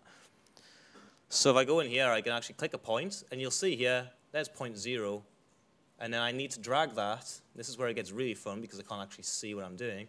I need to drag that down to one of these uh, points on the bottom left corner. And you can use nudging using the, um, using the arrow keys as well to get it perfect. Um, so what I'm going to do is probably get a keyboard in a minute and actually try and do it properly. So I need to add in all my points. So if I add in all my, um, I'm going to add in all my outer points because I'm a professional and I can map from the shadow. so I can add all, all, these points, and you just click on your output and just drag the point that you like. Um, so I said, okay, so this point's going to be around, I guess it's around there somewhere. I can't really see it, but I guess it's there. I've got point three. Well, point three is this top right one, so I can kind of, actually that's, uh, yeah, down here somewhere. So that point three is going to be around there. In fact, I can see that one, so that's good. So I can start pinning in point three. Yeah, so anyway, so uh, like where we were just before lunch, we were saying, okay, so we, we need to have our output. So let me just go back into our UV mapping bit with the cam CamSnapper. So I'm just going to just quickly focus this projector with field guide and then output that. And I was going to use that as the win as my sort of out final output window as well. But uh, so I'm going to fill location, borders off, open separate. Ah, there you go. Oh. There you go. That's looking good? Yeah, nice. Yeah, that'll do. That'll do. Yeah, yeah, cool. Let's do that. Um, so, yeah, so in CamSnapper, once we, we add our points, um, and then we open our outputs on the monitor. So I hit open output, so now we've got our um, full-on setup here. So I can start mapping these, these cubes. So what I'm going to do actually is I'm just going to come around and probably map them. I was going to use OSC, but annoyingly Java doesn't want to actually work on my machines, so I can't use the, ed the editor. So there is in CamSnapper. Oh, let's just take all that out. Everything's going crazy. in CamSnapper, there is the ability to actually um, control through an OSC layout. So if you go to the um, page here, sorry, I've, I've, I've put all my font scaling up as well, so hopefully you guys can all read now. But if you go to uh, the auto blend page, uh, that's your auto blending stuff. And if you go to OpenCV, that's your CV stuff. If you go to OSC, that's like your OSC input, and there's actually a Touch OSC uh, layout made for CamSnapper. So normally you can just do it on your phone. Um, annoyingly, for some reason, it's not working on mine, so I'm just going to do it manually on the um, on the output. So um, because because Java for some reason Java doesn't want to work. But uh, so what I'm going to do is we've got our output. I've added my points, and now we need to map those points in. So I guess you guys have already like played around with this, and you see how to how to map it, right? So if I just get a one of the things you can do with mapping as well is that if you um, if for some reason like sometimes you won't have wi wireless or anything, you need to like actually be able to see it, but you can't. Um, you haven't got a you've, you've got to like get a long mouse and keyboard. You get a long mouse and keyboard. I always use a wireless one, um, and there's a great little uh, phone app which allows you to um, allows you to actually control manually. But I'll, I'll find out what that's. It's called Unified Remote, I think, which is good for doing like remote control of touch. So you can use that too. So for when you're mapping, because obviously you're, you're normally your server's in like another room, so you can't really uh, do much with it. But when you're mapping, you can actually just use the keyboard. So if I, if I nudge with the keyboard, I can actually see where I'm nudging now. And if I want to, I can shift or control or alt. Which one? Ah, alt. So I do alt and left, alt and right. I if I just have a keyboard and I don't have a point, uh, a, a, a mouse, sorry, then I can actually just do it via that keyboard. And at the moment, you can see that everything's kind of crazy, and I don't really, I can't really see what's going on. So what I can do in CamSnapper is I can actually go in to the CamSnapper page, and I can start like turning off things. So at the moment, I've got geo randomly. I can turn that off, and I can turn off things like show guides. So now all I've got is the one point that I want to map. And the one point that I'm mapping is the top left um, corner of the left-hand bottom cube. So I can do that with a keyboard. I can just go in and uh, I select it first, which would help. Your window has to be um, active. And it doesn't want to, let's just remove it and add it again. Something's gone wrong. Ah, my timeline's paused, yeah. Make sure you don't pause your timeline, uh, or it won't work. Yeah, so now if I add the point in, I'm now selected that point. I can alt-click. I don't need a mouse, really. I can just alt-click and come down to where I want to go. And I can bring that in. And then I can just turn off alt, and now I can do the fine adjustment to get to that corner. Once you have another point, sometimes it's good to map on the shadow as well, but so once you have another point, you can just hit tab, and tab will let you switch through all your points on the output. So you can actually, like without having to use your computer, um, you can just tab through. So at the moment, uh, I'm using number four, and we can see number four over there is the top right, so I can go and just alt-click and just move number four into place. It's actually that one. And you want to get the point, the center of that target, right on the edge. Uh, like if you use the shadow, it's actually easier because you can see where the where it's starting to fall off. So I've done number four. I'm now going to do number five, which is the bottom one. And yep, again, all clicking very fast. Get it in. Number six, which is the top. That's already done. I've already done that one, right? Yeah. Number one, which is top left. So I can go up here. And you can see it's starting to come in already. It's already starting to like figure out where it needs to be. And then if I go tab, what else have I got? Number two, yeah, so number two, and it's slowly getting there. I guess I have another point. Yeah, number three, which is the top right there, so that's gonna go. So if you have a point which you haven't mapped, it will throw everything out, and look at that, it just banged in there. So that's, um, well, banged in reasonably well, but it's at such an oblique angle with that projector and so little pixels, it's not ideal, but you know, it's, it's pretty much there. Okay, cool. So, so that is how we get a mapping. So what I can do now is, um, yeah, so you can see like here, this is what is actually outputting now. It's a tiny little cube set because we have such a big projection area, but normally it would be your output. So now that we've done that, uh, CamSnapper has a load of like stuff in there, which is like showing. So like the wireframe is showing. You can turn off this stuff and like try and get it to look nice. But what I tend to do is I tend to set up a separate window. And the reason I do this is because I can just set a separate separate window up with a clean texture, and then we don't have any. We, there's never any chance of CamSnapper accidentally showing up on our output during our show. So like if if because if we if we use CamSnapper's um, window, then we get all this wireframe, we get the, the crosshairs, we get all this silly stuff, and we don't want that. We don't want any of that. So what I do is I make a separate window, and um, in Touch, normally when I set up a window for a single monitor, I just set it to specify monitor, choose it, so in monitor one, for example. I set um, DPI scaling to native, normally. Um, and then I set, uh, where's fill location? Um, da -da -da uh, I can't, I've lost it because I'm so, I don't know where, the, where's, the, where's the fill location gone? Anyway, turn borders off um, as well. And in fact, I don't know why, but maybe that's just going to work. But And then I need to drag my render, I need to drag my render top onto the window. And then I can say like open as a separate window. Uh, and it's not going to work because I haven't got it set to, ah, fill, there we go, sorry, opening size set to fill, right? Uh, and because I've got oh, such bad DPI scaling, it's not actually working right now for some reason. One second. Well, that's a good start. For some reason, it doesn't want to work properly on the window. Monitor 1.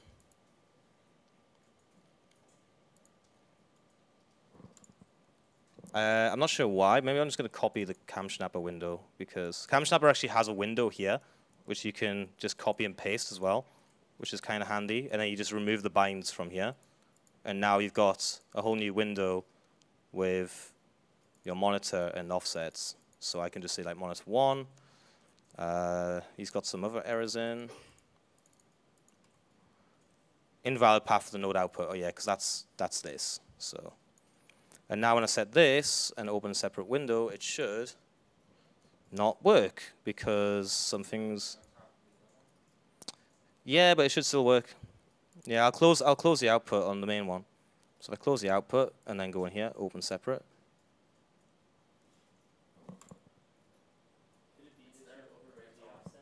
That's over. Hang on a sec. Hmm? Yeah, but there shouldn't be an offset. Even if I do an offset, that's not going to map, is it? Mm. I'll just use the CamSnapper one for now, but normally I do set it up separately. I don't know why it's... I think it's because I've got such a weird monitor set up today, because I've got like two monitors on different DPI scales. Like, normally when I do a show, I turn all DPI scaling off. And I normally keep all my resolutions the same, because if you have different resolutions, you get VSync issues where it doesn't VSync properly, so there's that as well. So, um, yeah, so for now, let's just use the second output of CamSnapper, which you can do as well. It's just not the best practice for um, yeah for for doing the thing. So anyway, so I can open output, and I can uh, turn off my guides and set my texture up, show my wireframe, turn that off, and at the moment, it's not going to actually let me turn off that thing, is it? it's actually not even possible to get um, a good a good output out of that. Hmm. Where's Markus when you need him? Monitor 1, fill location, borders off, open a separate window. Yeah, I'm not sure what's I'm not sure what's happening there. Um, but normally normally it should be fine. I think it's just my monitor setups. Uh, so crazy right now. So.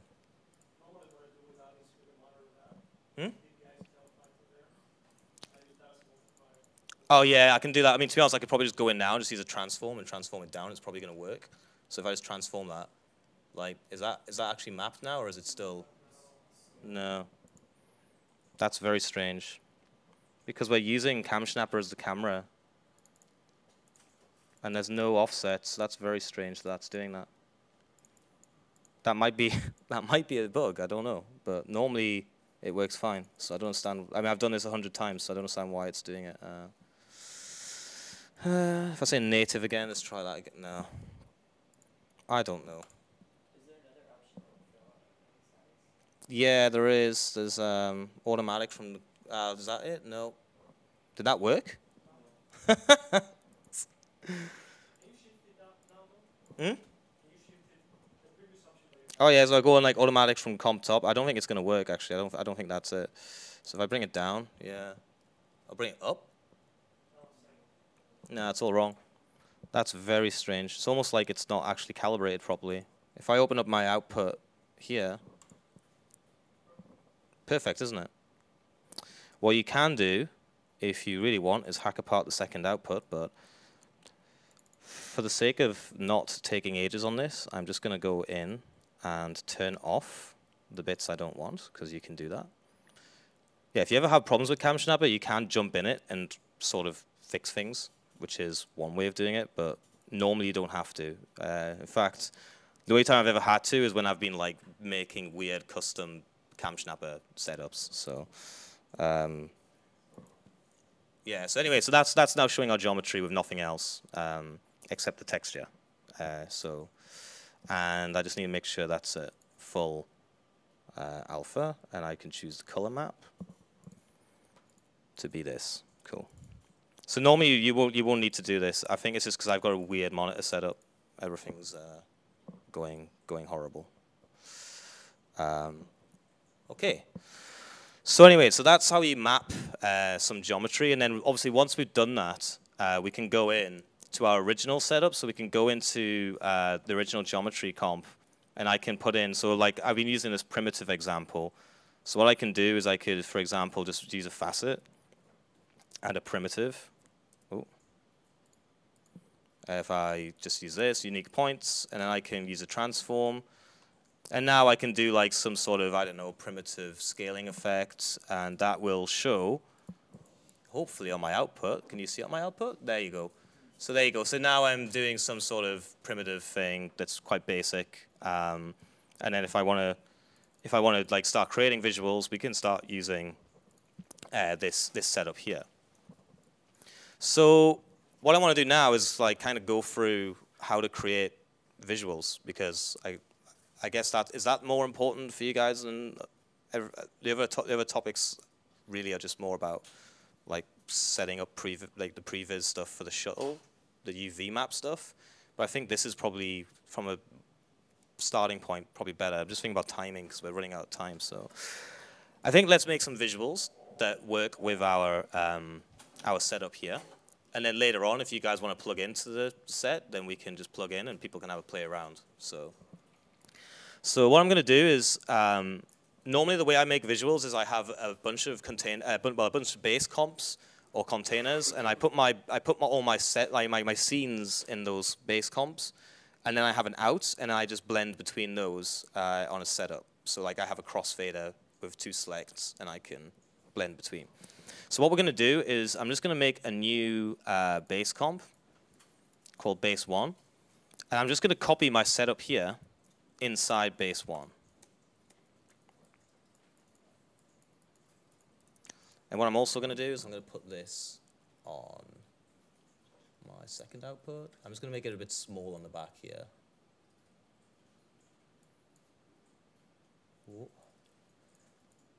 Oh, come on yeah, there's definitely DPI scaling issues going on because I can't even resize anything. So, like that is not resizing properly. Uh, no, I didn't, which is probably the problem. Yeah. Anyway, we can see that on there, and I'll just focus it quickly, and then we're good. So, so this is our this is our canvas, right? So this is what we're going to start making stuff with. So some of the typical tricks that we use in projection mapping are things like, you know, making faces pulse or using ramps to go around different faces, like circular ramps. So the most simple effect we could do is actually to go into our geometry here uh, in base, well, I'm in base one, geo one, and um, we can just start like adding stuff in, right? Because we're just, we're just, this is our canvas. In fact, what I will do actually before we do that is copy to base two and just keep it on the side so we have a, a backup of our canvas before we go butchering it. Um, uh, just these, the, so the, the top setup, the original setup with the, um, with the renders. No, the base UV mapping stuff, all this stuff, you can leave out. It's just this bit. It's just the bit that makes our creative canvas. Yeah. Um, it's all good? So what I can do is, like, for example, if I want to just do ramps on my, like, uh, some sort of circle patterns going through or something like, like something like typical VJ effect, um, I could lay down, like, a constant material and then put it on my object, and it should go completely white. And then what I can do is use a ramp top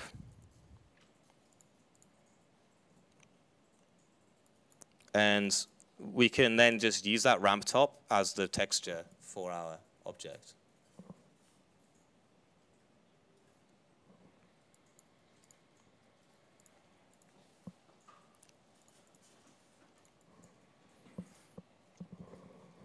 So like if I uh, if I make this circular, is everyone keeping is everyone all right? Or yeah. So what I can do is I can make this like if I make this circular, then we'll see that actually the texturing here right now doesn't work, right? It's not it's not a bunch of circles on the faces like I want. So what I can do is go inside the Geo one, and I can actually now just texture this uh, however I want to texture it, right? So I can go in, and I can choose whatever kind of texture style uh, UV map I want to make, like in real time. So I can say I want to go to face, and going to face is going to like move um, move everything, all my circles onto faces. And if I translate that, you can see that we're starting to get like we're starting to get textures like mapped onto uh, the object. In fact, one second. What I will do first, before doing that, I'll facet it.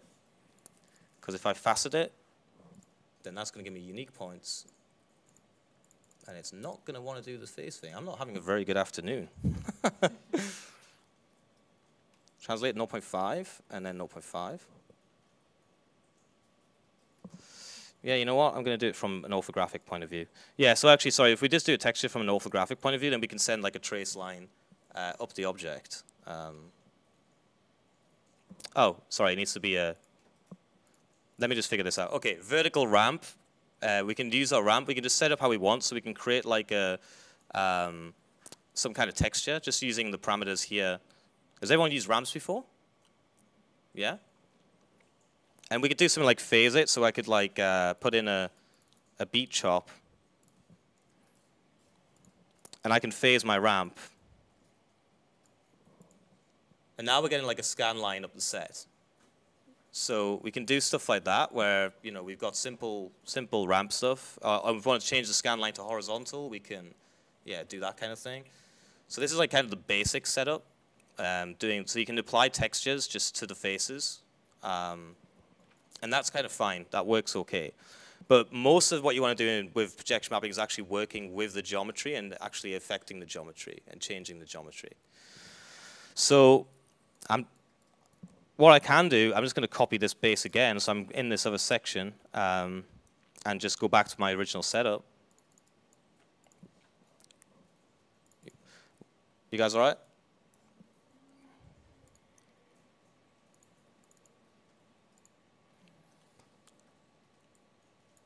So what I'm doing here is I've applied this, I've applied this orthographic texture in the z-axis. And what that means is it's just it's basically just projecting the ramp onto the onto the um, the, the uh, z-axis so that then we can just move the ramp up the set. It's just going to like create like a scan line.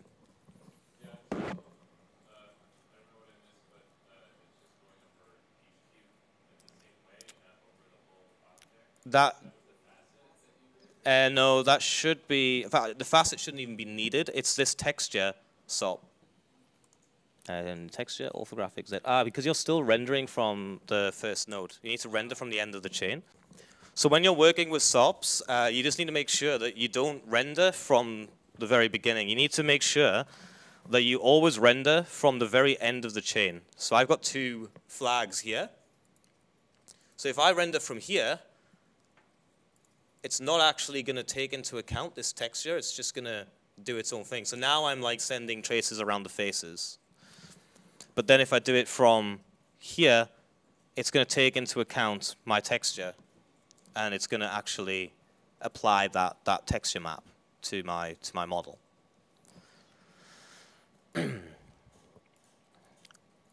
so you can do so you can do like fun things with the texture SOP where you can just like just do different types of texture mapping and just use ramps and sort of uh, images or video, whatever you want to do. You can kind of use that as a technique for for uh, putting content onto your uh, set.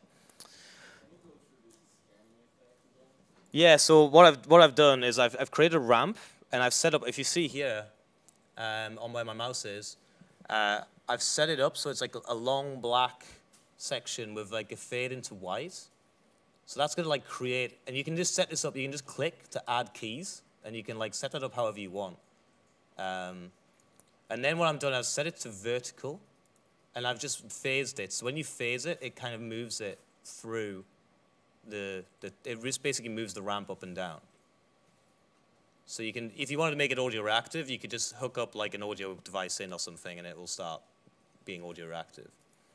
So in my case, I've just set it up, I've just hooked it up to a beat. So like I set that at one, now it's gonna go every beat, it's gonna go up the set. So now it's like now it's like bang, bang, bang, 120 BPM going through. So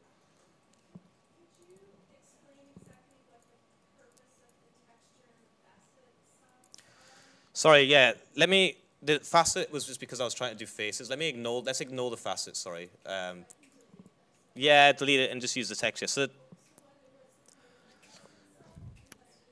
it's to do it. The facet allows you to make faces individual, but we'll go through. We can go through that when we do the primitive stuff. Um, yeah, just the texture SOP. Sorry, yeah, because I. So the texture SOP, if we bypass it, you can see that our, our geometry has a UV map originally. Um, but what we want to do is we want to create a new UV map for our geometry so we can send vi visuals straight up it. Um, so to give an example, our geometry, uh, the original UV map is uh, this. One second.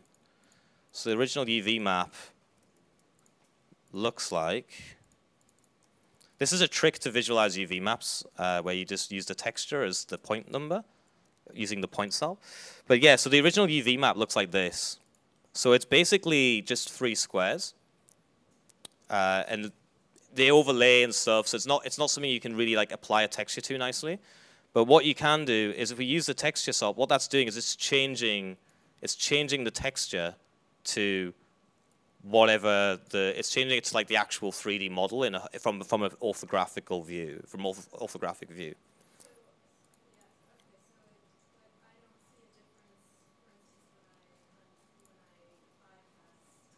But are you rendering from the texture or are you rendering from the cubes? So have you got the blue, you know with that little red little render flag? Is that on the cubes or is it on the texture? Like the, if you look at the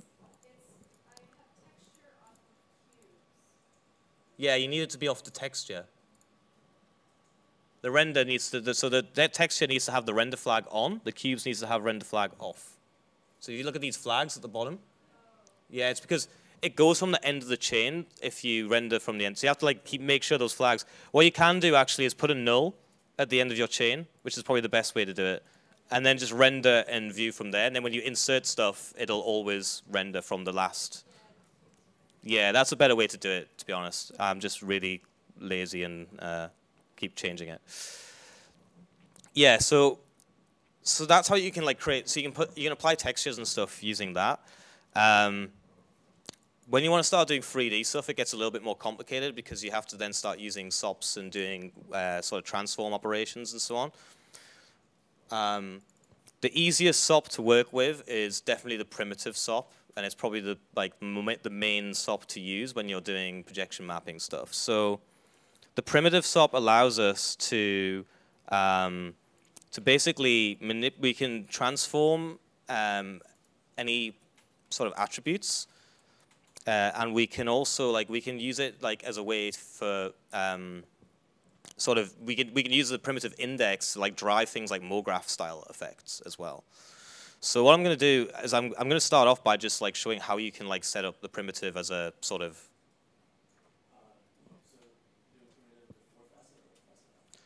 Sorry, yeah, the primitive after, sorry, yeah.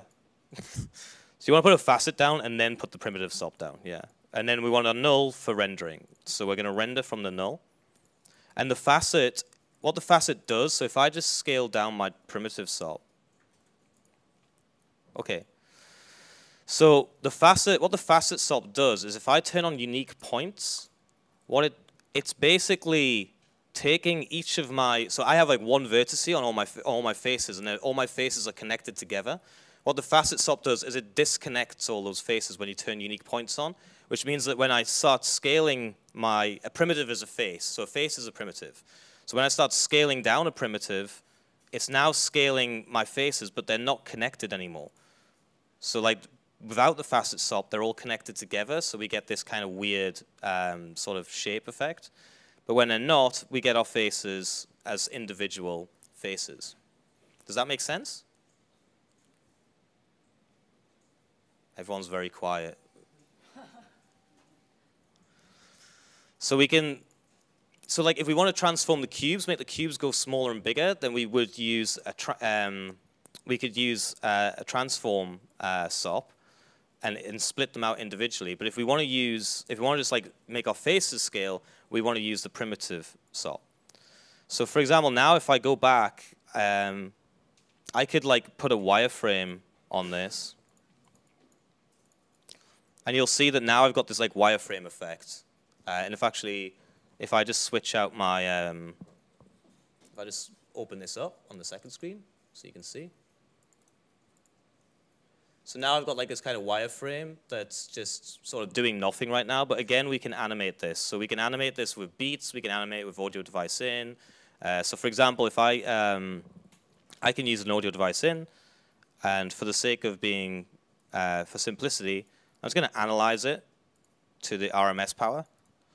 Uh, and then what I can do is, at the moment, it's a very low value because I'm just using my microphone. So I can just math that up to something crazy. So I'm going to use the math range. And then I can, from there, if I set it to actually maybe 500 because that's too high.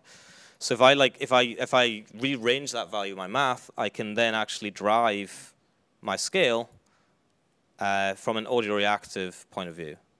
So if I do that, so now as I talk, our mesh is uh, animating. So it's a live audio react, well, audio reactive visual, just from using a wireframe.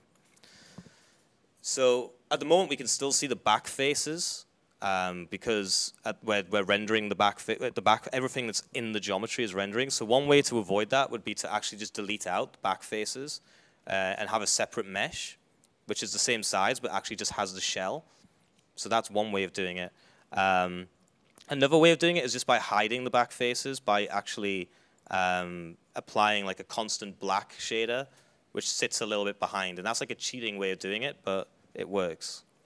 So if I want to, I could create like a, um, actually I'm not going to use the material SOP because that's bad practice. I'm going to create a new geometry comp in here from my, um, from my facet. Oh. And what that, what that geometry comp is going to be is just a static black background that my geometry can then animate around. So if I double click and make a constant mat and make it black, and apply it, then now you'll see that we don't see the back faces anymore. And the reason we don't see the back faces anymore is because we're now rendering two different bits of geometry. We're rendering a piece of black geometry that's just a mask, and then we're rendering the outlines through our primitive SOP. And if we want to make it a little bit more obvious, we can actually, so if I move that back, you can kind of see it. Uh, if I move it back, yeah, so you can kind of see the, fade, the back faces come back in, but then when I move back to zero, the back faces are gone. So that's like kind of, so now we're like, we're starting to use the geometry to actually create uh, content as well. And a lot of these tricks, a lot of these SOP tricks, uh, I've actually got like a YouTube tutorial video which goes through a lot of different SOP tricks with texturing, doing primitive point stuff, like moving things around and kind of changing, you know, how it how it all comes together. So, and and one of the and obviously like once you've once you've done that, you've got your you know you've got your geometry here, you've got your canvas you can start to like play around with that in the post-processing stage as well. So if we want to add a glow, we can now like add in, um, if I add a blur to itself, then this is, should be kind of glowy now. Um, but I'm viewing the wrong thing, I guess. or the glow's just not showing up because that projector's so um, strange. But yeah, I need to reorder. Yeah, so you can you can add you can add like a glow in as well. Let me just reorder this so I get rid of the black because it's uh, causing some problems. So there's like there's like little post post tricks that you can use as well with with creating. It's kind of like it's a it's a huge minefield. This is the problem with content creation. Is obviously like you, whatever you want to make is is it's sort of you've you've got different techniques for doing it. And in TouchDesigner there are so many different ways. So you have like applying textures, then you have this sort of you know applying SOP, um, like doing SOP uh, things like geometry manipulation. And then once you get out of geometry manipulation, we're now into the post-processing pipeline. So now we can do things like, like you know, if I want to do a feedback loop, I can go in and I can actually now do a feedback loop on my geometry that I modified. And now it's, you see, now it's painting. And if I bring my level down, so now we can use feedback to create sort of crazy line effects and so on. So there's a lot of scope for, for doing that, for, for what we can do there. I mean, is there any kind of creative thing that anyone's really burningly needing to know how to make, or is it?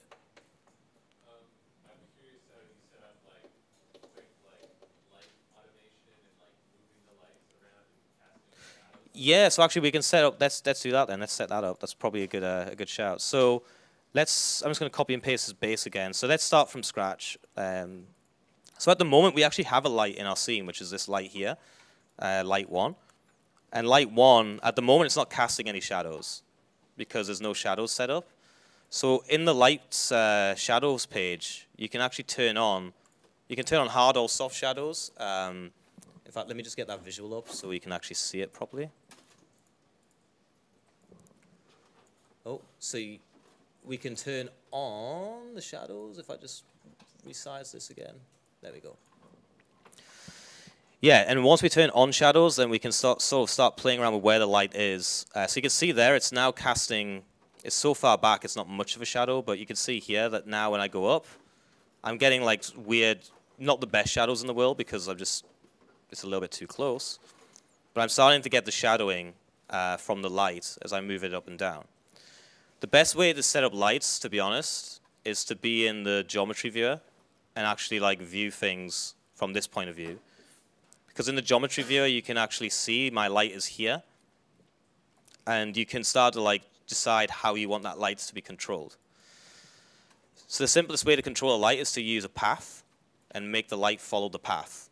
Because that's uh, sort of, in touch, it's quite hard to use these, you know, these controls here where you're not really moving things around. So what we can do, so let's say, for example, I want to make a circle I can make a circle path that goes around my object, and then my light will just follow that path. So, um, so what I can do is I can make a circle. I'm going to set it to be a Bezier curve, uh, sorry, a NURBS curve. And then I'm going to right-click and open up its parameters. And then I'm going to go into the geometry viewer. And when I'm in the geometry viewer, in fact, I need to make it renderable as well. So these flags are really important. They need to be on, the two render and display flags. And then I can see my circle here in my 3D viewer. And I can start setting up my circle. I say, okay, it's on the wrong plane. So it wants to be on ZX.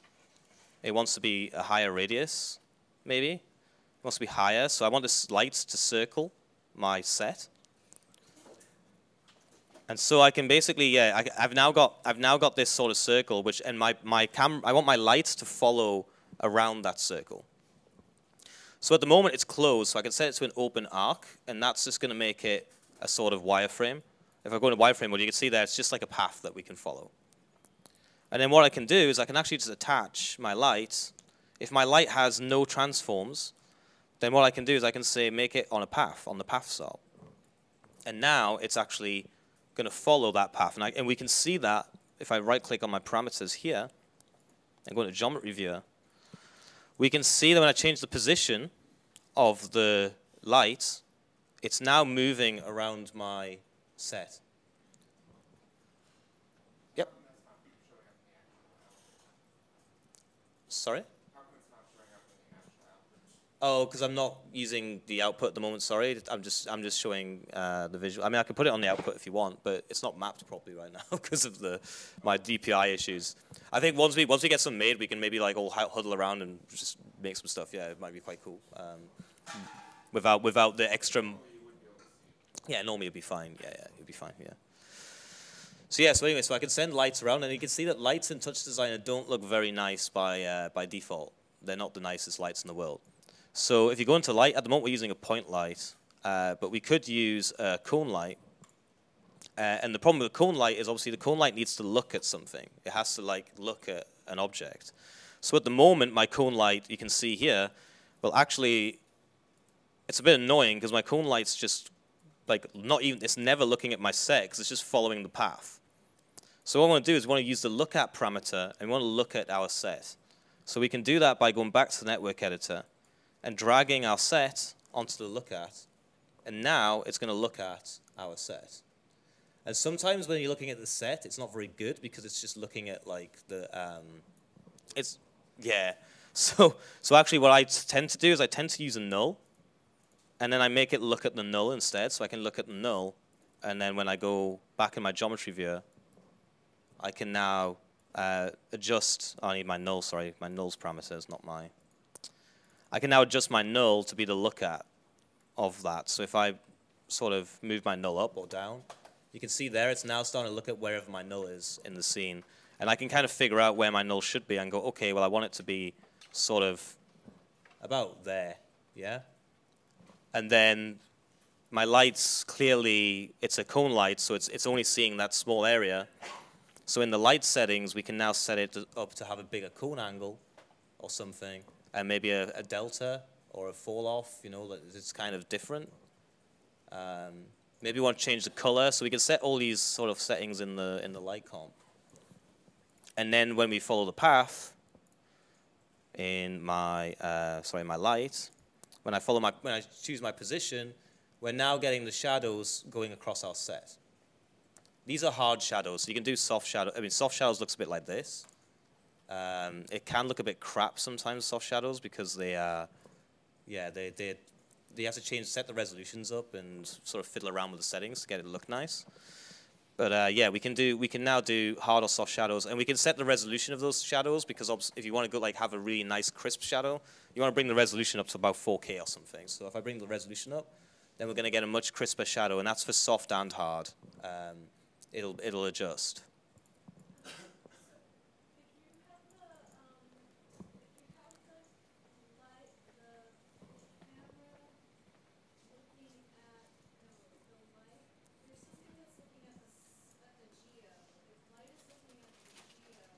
The light, the light can look at the geo, but the problem with the geo is it's it's um, when you have when you have a geometry, the origin could be like all the way over here.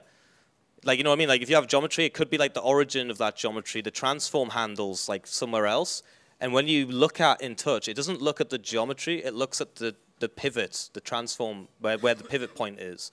So actually, what what's probably better is to use a null and then just move the null to where you want it to be in 3D space so if you say like, oh, I want my null to be actually in the middle of the geometry, then we can actually set it to, to go to that point. If you want the camera to look at it, you can do that. But the camera, in this case, we want the camera to always be static because we're going to because we're going to put it onto a map, yeah, onto a mapping. So you always want, you don't really want to move unless you're mapping a moving object. You don't really want to move your camera when you're mapping. So yeah, sorry. So so yeah. So if you look at the null, then it's better. And actually, the null, if you want the null to be in the center of the geometry, you can actually type in op geo1, this is a Python expression, dot center dot x. Oh, why? What's wrong? Oh, has no attribute center. Oh, sorry, geo1, it's not geo1, it's the SOP inside, it's the facet. So I say geo1 forward slash facet 1. Sorry, yeah. So you can actually look at the center point of a SOP if you want to. Uh, and that's not the pivot point, that's the actual center of the 3D object if you take the bounding box and find the center. So that's quite handy as well. So that's, that's a useful expression if you ever want to look at the center of something. Um, so yeah, so now we, now we got like a light and we can move around. There's a there's one thing that's annoying about touch is that obviously um, when you render from Cinema 4D or something, you always have um, really nice ambient occlusion. And in touch, we don't really have nice ambient occlusion here because we've, you know, we've got like just a standard light on a on an object. So one nice trick with uh, when you're when you're uh, rendering sets is to actually use what's called screen space ambient occlusion, which is SSAO. Now, the first thing I will say about screen space ambient occlusion is that it's really heavy. Uh, in fact, you can see here it's uh, how much it's cooking. It's taking 1.4 milliseconds, which sounds fast, but actually that's quite slow in TouchDesigner land. We, we only got 60 milliseconds to get everything out the door, so we want to have something light, lighter than that.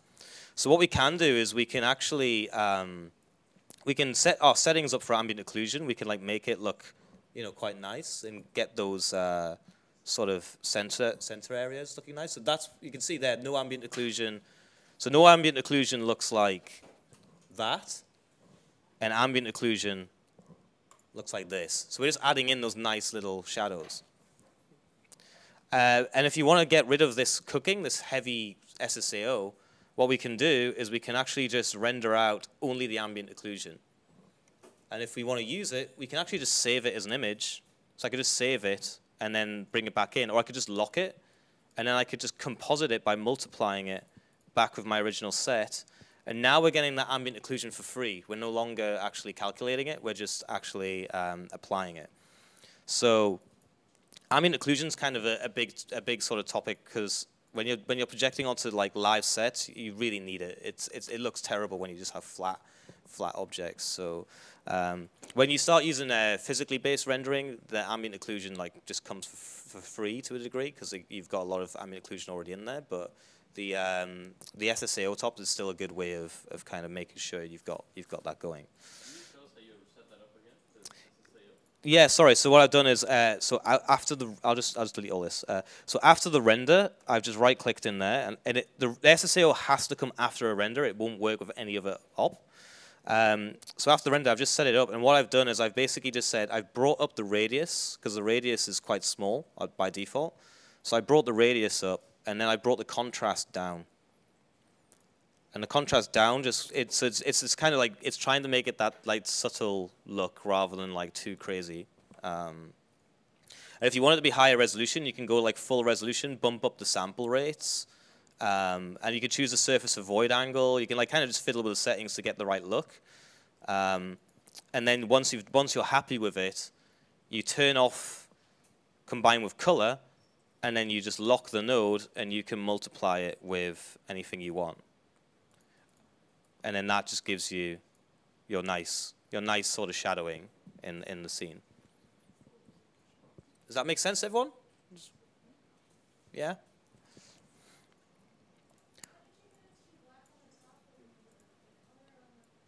Oh, that's so the light. I've made a cone light, uh, and I'm. Yeah, there's no ramp on it anymore. I'm just using I'm just using the standard Phong material. So it's just like the standard material. There's no material attached to the geometry.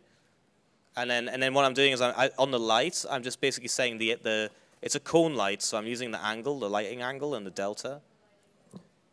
Yeah, so the cone it's if it's a cone light, you get that nice kind of fall off rather than using yeah the normal lighting. Um, and yeah, and then obviously if I want to start again, if I want to animate this, I can if I want it to like flash to the beat, can, I can bring in a beat chop, and then I can use my position to, you know, do some kind of beat stuff. Maybe, maybe I want to be on every beat. So now it's like crazy flashy. Every beat, it's gonna spin the spin the light around. Yes.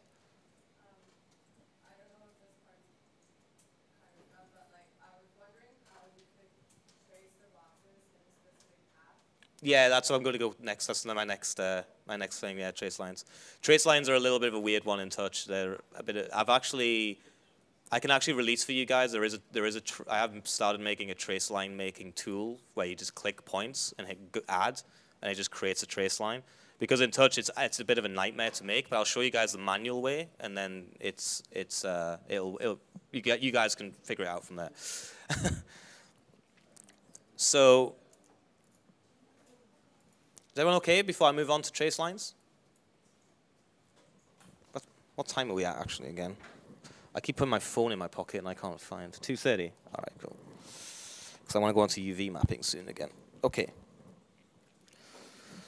So um, okay, so what? Let's let's go on to doing it. Let's do trace lines, and then we're going to go on into showing how how to do how UV mapping would work in um, in a, on a larger scale. So so I'm going to copy my base again. If you guys want, I can give you this. I can give you this file at the end of the day, so you can actually take this apart. Um, it's that's absolutely fine. So I'll put it. What I'll do is I'll put it in the GitHub repo, so it's just the final finished files there as well, so you can you can see all this because I know it's quite fast paced. So yeah, we've got. Cool. So to do trace lines, um, the easiest way to do a trace line is to use the carve sop. So what I've done is I've made my um, I've made my standard setup again, and what I'm going to do is I'm just going to carve it. And when I carve it, you get some lines. Uh, and let me just go to that visual actually because I'm still on So when you use the carve, um, the carve basically just has it has like two parameters that you need to use. Uh, and what what I'll do before I before I get into that, what I'll do is just add add a wireframe mat, and I'll just set that to be. Yeah, go for it. Yeah. Go wild.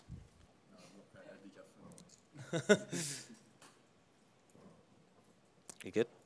Yeah. So um, yeah, so I just added, all I've done here is just add a wireframe and I've just actually given it a bit of line width so we can see it a bit better um, as a material. And then in the, so the carve sop has basically two parameters. It has one which is enabled by default called first U.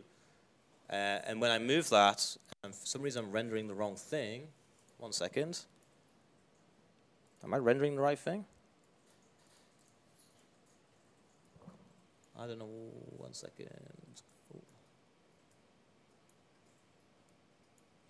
Okay, yeah, sorry, let's go back to that. So we have the first U, and when I move that, nothing's really happening, but you can see that something's happening in the SOP. If I turn on second U, then now you're starting to see something happening. And what's actually happening here is where we're actually taking each line in the each edge in our geometry, and we're we're sort of going through from zero to one, and we're going okay. We're gonna we're gonna start bringing that geometry, that edge in, and we're going to start creating a line. So we can create lines using the carve sop. That's the main, um, the main way of doing it. Obviously, this is quite boring. And the traditional way of doing trace lines is to have a line that goes up around the geometry. So we can still use the carve, um, the carve sop for that, but it's a really esoteric thing in TouchDesigner where we have to actually choose the points that we want to carve along. So if I go with home all, and I go display options, I can actually display my point numbers. And we can see that we have uh, all these like loads and loads of points in this mesh. This mesh is not actually the best for, for doing traces with. Now, this is where the facet SOP can help us again, because just as the facet SOP can split things, it can also bring things together. So where we have two points on, I mean, that's probably really hard for you guys to see, actually. But I've got two points here which you can see there, like there's two point IDs together. So there's, there's two points in one space. So what the facet SOP can do is it can consolidate points. It can merge, it can like merge points, weld points together. So it can, it can do that as well. So we can use uh, consolidate points fast to basically consolidate our points, uh, like where our points are doubled. It's going to make just one point there. So now we've got like these lovely numbers that I can then go in and see. So I can see there I've got like, this is 22, 28, 9, 37.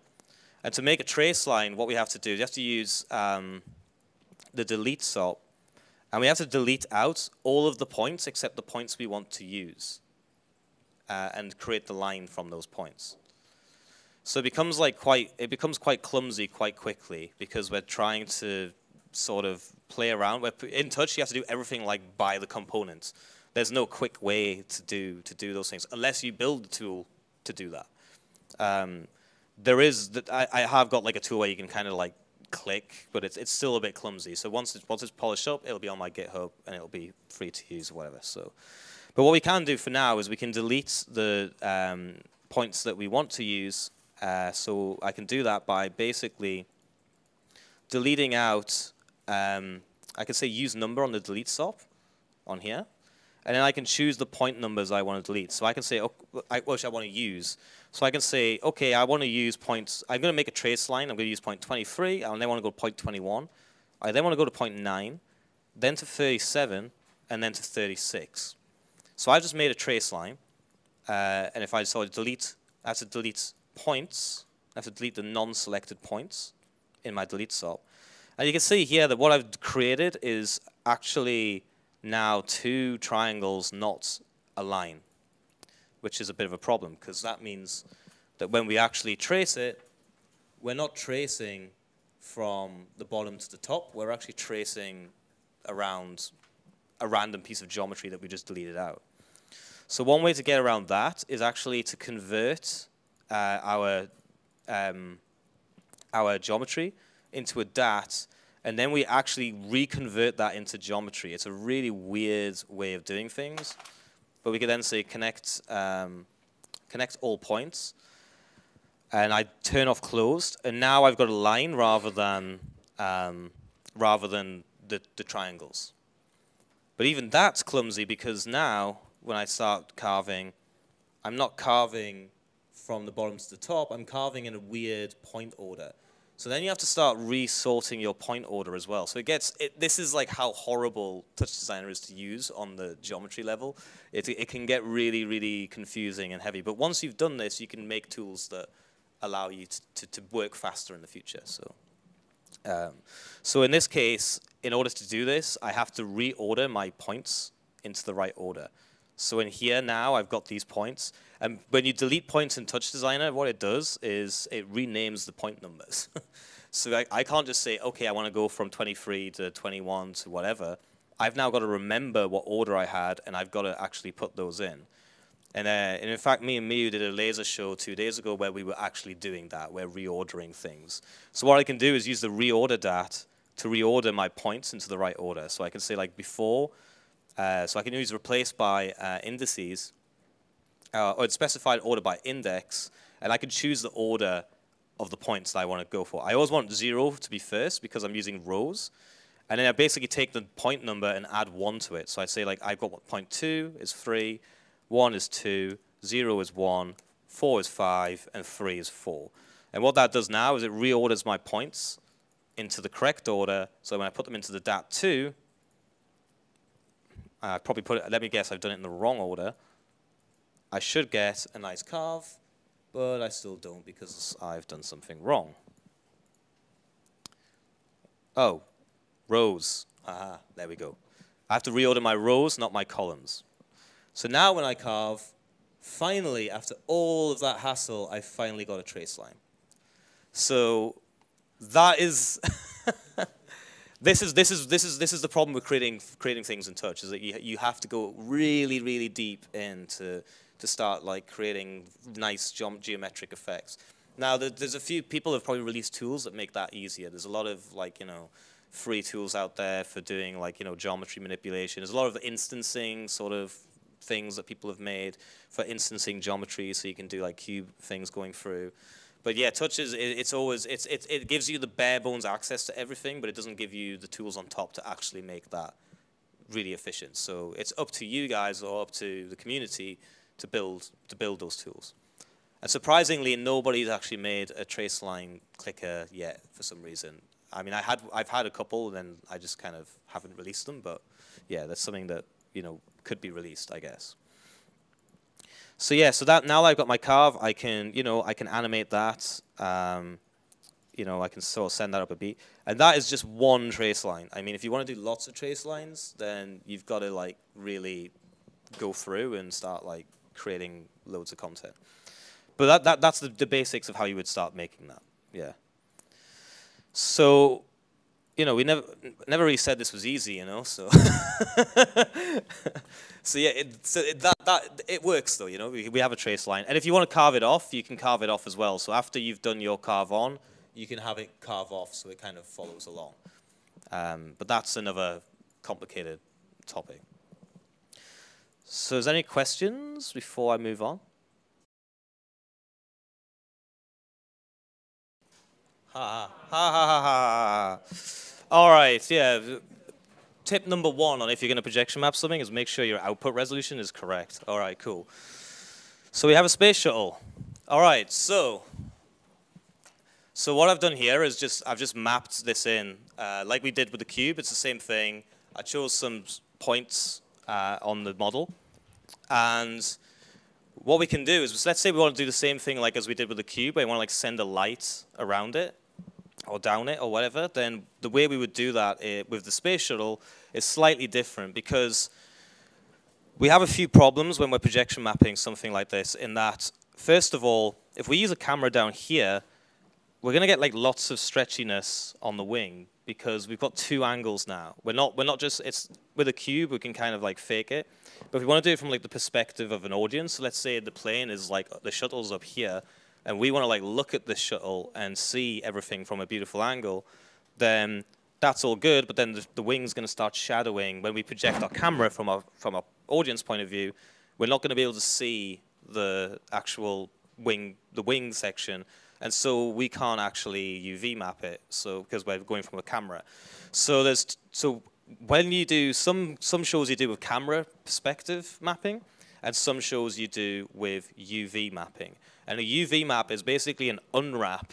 It's almost like when you see a pelt, like you know, like a fox's pelt or something, and it's kind of splayed out that's basically what we do is we take a, a, model like this and then we kind of split out. And it's a really is it's a dark art. Let's put it that way. I think it's the the best way of saying it. So for this one, what I did, and I, will quickly show you guys the Blender file in a sec. I'll just show it on here first. What I did was I actually I projected down.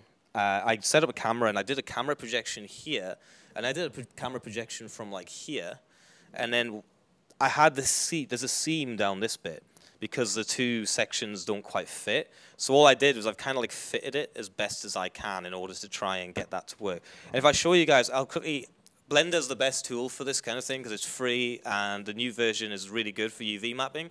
So it's, it's actually quite a cool uh, setup. And the model with the, the Blender model is actually in here somewhere. Oh God,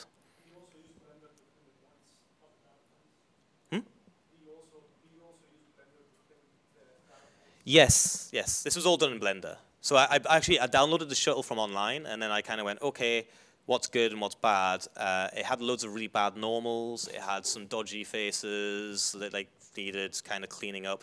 It had a there's a, there's a really horrible thing in projection mapping uh, where your faces are like non-planar.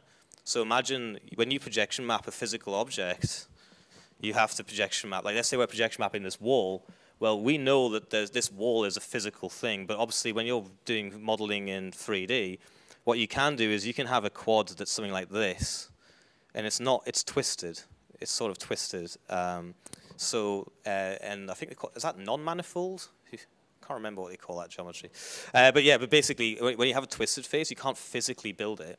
So you have to be careful when you're making meshes or sets that you don't have any of that kind of um, it, it, like sort of weird warping.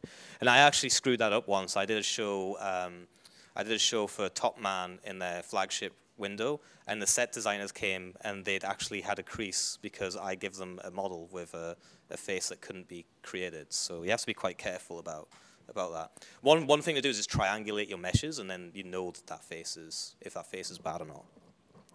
So yeah, so um, if I just quickly go into uh, into here and go into my summit. Where's my GitHub again? What do I call it? Mapping workshop, yeah? So in the mapping workshop folder, in the, I've got a Blender folder, and in here I've just got the Blender model. So if you want to have a look at it in Blender, you guys are more than welcome to do that. Um, so this is it in Blender, and what I've done is I've split it into two meshes. One is the white section of the shuttle, and one is the black section of the shuttle. So if we wanted to texture map it, we can do that. And that's another thing is that obviously the shuttle has it has a uh, it has a logo here, it has a logo here. When we're doing from a perspective camera, putting those logos on, we've then got to corner pin our logos and stuff, and it's really nasty. So what I've done is I've actually because I've done it flat projection here and here, we can actually put our logos on just in Photoshop or whatever, and it, it works really well. So to show that, when I go into the UV editing tab, so here is our UV map. So what I've done is if I go into, uh, if I just select if I go into edit mode and select everything, so you can see, cool. Oh, select everything. Oh, because I got I've now got two meshes, so let me just um, can I select both of those and go in edit mode? Yep, apparently I can. Cool. So if I just bring up the UV. so this is what it looks like. So the UV, I've got the side of the shuttle and I've got the the wing. And the way I, the way I did that was basically just set myself into a camera mode. And in, in here you can say UV and you can just say what kind of project from view. So you can do the same thing as you do in Touch with your uh, texture SOP, but you can do it just in the in the software. And what it does, it only does it on the faces you select. So I could just select the wing and say, you know what, I just want a UV, project this from the view, and then it's recreated my UVs, but only for the selected objects. So if I want to select a certain amount of things, I can just select those and then UV map it. So once you get that, you get this wireframe kind of image, and that wireframe image is now your canvas uh, which is obviously a little bit of a nightmare to work with in some ways because it's flat. You don't, you can't see what's going on. Luckily, in Touch, we can preview that on the model in real time, right? We can just apply a texture to the model, and that's going to work. So what I can do is I can go into, let me go back into my little shuttle scene here. So I just got a wireframe on there at the moment. But if I put on a, uh, let's just put on a constant material, and let's bring in, uh, I've got a movie file in the folder and that is uh, not in this folder because I'm in a, I'm in a new project. Uh, if I go into uh, textures, so I've got this shuttle texture here, and this I just made this in. Um, I think I made this in Touch actually. I could have done it in Photoshop. I could have done it in anything, but um, just I don't know. TouchDesigner is easier for me. So all, what I've done here is I've got this flat texture. You see, like I've got the United States is all like proportionally correct but it's still going to map on fine because I set up my UVs properly. So when I put that in, into here, and when we look at it, and it should be on the model as well there. Uh, yeah, so now, because of my shoddy UV mapping skills, you can see there's a little bit of an edge when my resolution's crap, but everything else should look quite neat on the on the space shuttle. Yeah, and it does look all right. Uh, it's kind of, the calibration's, you know, a bit off because we're so yeah, so we're working with flat content. What's great about TouchDesigner is that up uh, at the last summit, I made a request, can we have uh, in, in uh, some competitive software, which I won't name, um, you can set up a UV camera. And Touch Design didn't have that functionality. And Malcolm was like, oh yeah, it takes like two minutes to do. And I was like, okay, we'll do it then. And he did. So, hmm? Uh, no. but it, uh, yeah, it's, um, so what we can do is actually when we when we uh, render the shuttle, if I just go out of this and go into a new scene, make myself, so we're going to go back to creating a, the great thing about this is now I don't need to create my canvas, I don't need to create my camera setup. I've got it all because I've got my UV map. I know what's going to, I know what the shuttle's going to do. So all I need is my shuttle. So I go into my geometry, uh, I create a geometry comp, and you guys just watch this, I guess, because it's it's sort of I'm just gonna have to go through quite quick. So um, I've got my joint. So I've got my shuttle. Uh, I've got my body and my the black section of the shuttle. So it's the white and black sections, and I'm gonna merge those together. So this is my full shuttle, and I I want to view it from the I want to view it from the perspective of what I want to wrap around the shuttle. So what I can do is I can use a, a render top, and I believe in the render top, when I set that up, um, it's got an error because it wants a camera comp. So I can create a, uh, actually no, it's not, I don't need to create a camera, I'm, I'm getting it wrong. In the render mode, we can switch this to UV unwrap. And what that's going to do is, apparently it wants a camera anyway. Let's create a camera just for the sake of it. All right, it wants a camera and it wants to do a UV unwrap. And my UV wants to be square. So I'm going to make it like 4096 by 4096, which is a huge resolution. But here you go. Here you see our shuttle. Now, what I can do is use the Arcball camera to previs what the shuttle actually looks like, or I can just previs it on the physical model because I've mapped it, right? So I can, I can, I can previs it on there. So what I'm going to do is I'm going to send this out, and then I'm going to send a null just to set a material up Sorry, this is me going like into my weird spectrum of figuring out what's going on. Uh, no, I, at least I don't think it does. We can check that. Sorry, I've used the wrong node. So what I'm doing here, sorry, I'm I'm um, I'm applying this UV now as the material. So this is quite cool because now I've got this I've got this horrible flat thing and I don't know how to work with it, but at least I've got it on my set. So now I actually I can work with my set. So if I want to create a light, I can just create a light in real time, and that light, if I pull it back enough, should start lighting up my model there. You should start seeing it on the yeah. And there you go. So I've got I've now got this. Am I going the right way? I guess I am. So now I can actually like update my light in real time, and we can see it on the model. And obviously, we don't necessarily have to do this with um, with the uh, the physical model. We can do it with a virtual scene and set it up like we did before, where we just drag on our textures and bring in a model in the ArcBall camera and just move around it. But it's nice to see it, you know, set up as a as a physical thing as well. So, and what the and the benefit being is that obviously now now we can play around with that. The the negative side of this is that you can't actually um, you can't set up a perspective camera. You have to, so if you want to work with perspective-based content, you then have to set up a second camera and you have to do weird camera blending. So that gets a bit difficult unless unless anyone knows of a way of doing that. But I don't think there's uh, any simple way of doing that. So yeah, so that's that's our now our UV, and obviously now we've got that. Actually, we could say, you know what, we want to we actually want to physically light this. So if I use a PBR shader, and then I bring in my um, this is not the cleanest network, but I'll clean it up and put it on the GitHub. Uh, if I want to go on to uh, my UV map, so I can apply my UV map now with a um, as a, uh, a texture here. You can see it's very dark right now. And I can use an environment. This is, this is a standard um, uh, PBR setup in TouchDesigner is to have an environment map um, with a, an environment. And I've actually got an environment map here, which is this one. This is free from online, uh, so it's all good. And I just chuck that in. And now we've got an environment mapped shuttle and I can start playing around with like the metallicness of the shuttle or um, the uh, the roughness. So I can start like making sort of highlights and stuff on it. And I don't know how good that looks on the shuttle itself because it's so small. but yeah, so we can start doing that, and then we could also like you know like before we talked about the ramp. Well, you know what? I set my UV up so that it all goes down one plane.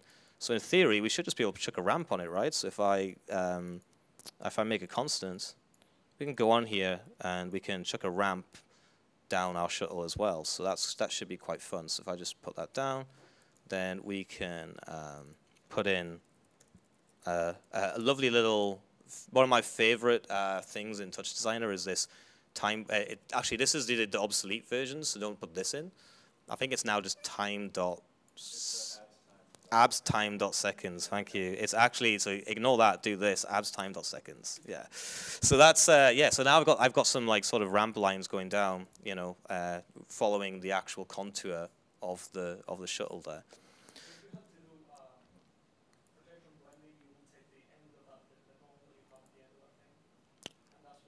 On the so on the projective blending, I mean, in terms of the setups in touch, I think Keith's is probably one of the, the, most interesting ones. But what what I think what he does is he, when he does the CamSnapper, he actually puts the blend into that. If I remember correctly, so when he when he calculates the camera position, he then adds that in in the camera's in from the camera's point of view. So when you do your individual projectors, you then put that in. Because for the blending on this, the problem the problem is when we when you put two cameras in, you're still going to have to do your blends. It's not going to, this is not going to solve your blending issue. You still need to do the blending in the camera. So, so you do it in camera space, which is basically uh, a mask in the camera that can then blend.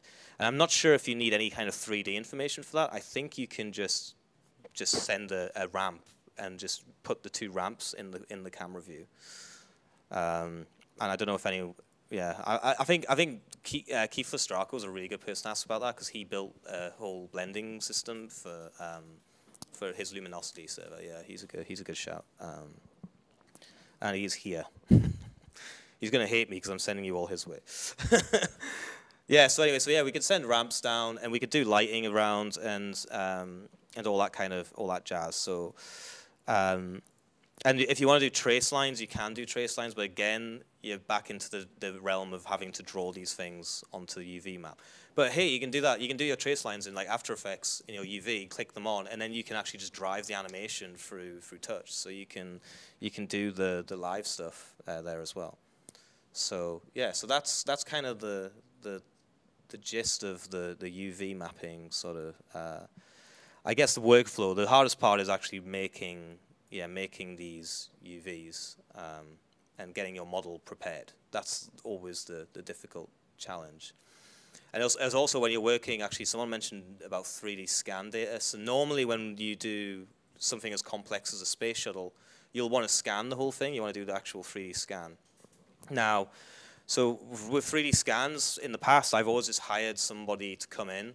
Uh, there's a lot of professional 3D scanning companies, and they come in and they can essentially set up the environment, set up like set up the scanner, and they'll give you either a point cloud or they'll send off uh, you know the file to somewhere like you know some somewhere where they'll get it made really cheaply into a uh, into like a mesh from the company that I use. So like you can end up with like a they they can give you like a decimated mesh, but um, one of the things you have to be careful of when you're doing 3D scanning is obviously you want to make sure that the the points that you want to map to the calibration points are in that 3D scan. So you want to make sure that the information is kind of there before you before you use it. And you don't necessarily have to be have an expensive 3D scanner. You can just use photogrammetry for a lot of for a lot of projects. You know, just take lots of photographs, run it through. Uh, I think it's Agisoft PhotoScan. I think does does the um, the um, I've had a mind blank the uh, camera calibration for that, and it will build you a point cloud, and then you can bring that mesh in. But if you if you if you're going down that road, uh, there's a really amazing bit of software called MeshLab, and MeshLab is um, MeshLab is free. There's, there's two. There's MeshLab and there's Cloud Compare, and they're both free. And they're hmm? Cloud Compare. Yeah, they're both free and they're both really good for decimating meshes and then for bringing into touch. So you can do like Poisson disk sampling, and you can like bring it. You can like basically generate triangles around point clouds. And actually now there's a point cloud top. So I don't know. Uh, I haven't tried it yet, but there is actually a point cloud top in TouchDesigner, and I'm sure there'll be more point cloud stuff coming now that Rob's around to, to, to do that. So that's um, that's. The, the I think it's called Agisoft PhotoScan. Is that right? What's that one? Sorry. Reality capture. All right, cool. There you go. Real reality capture. Yeah. So. Yeah, but I think when you're when you're doing a large scale events, you really want to be doing scans. You don't want to be because it, it can get scary when things don't go right on those kind of jobs. Especially if you've got like more than if you've got more than ten projectors, you want to be sort of scanning stuff, regardless of, of what it is. Yeah. Um, cool. So we're at four o'clock. Um, I'm wondering if anyone wants to try and have a bit of play around with the actual sets and stuff, or you guys. How's everyone feeling? Are you feeling frazzled? Or are you feeling alive?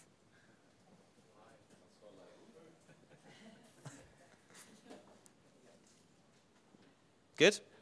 Yeah, all good. All right, cool. So, what have we done? We've done, we've done a lot. we've done quite a lot, actually. Um, so what else can I show on the shuttle side? Maybe I should show some 3D effects using existing meshes as well. Um, two projectors with a blend. Do you want to do that? I don't know. I have I've I feel like I've I've I've maybe not a complex subject like this, but what I will do is I'll show, I'll just quickly see. Let's just see if we can figure it out while we're here. Why not? Um, is we're talking about blending with CamSnapper. So CamSnapper has the automatic blend. Uh, sometimes it works, sometimes it doesn't. Um, and I think for, for what all you do with CamSnapper, in fact, I'll just go into it here. So all you do with the auto blend is you type your camera names in. So if I've got like CamSnapper, then I've got, I can just type my the paths to my cameras in. And then what it spits out is a, um, in fact, it's the only output out of CamSnapper is the blend mask. So it actually gives you a mask, and then what you would do is you would multiply that mask with um, your set. So in this case, we've got CamSnapper. If I just really quickly copy it and kind of screw it around, it might actually give us something more useful. Uh, one second. Oh, uh, second window. Um, oh no. So you would have to so you type in CamSnapper and then like CamSnapper one, and it'll say it'll give you an error because it always does, um, but it's fine. And then normally that gives you a mask. I think I need we need to get like two projectors going properly to to, to do that. And the, this set's so small, it's quite hard to do. So.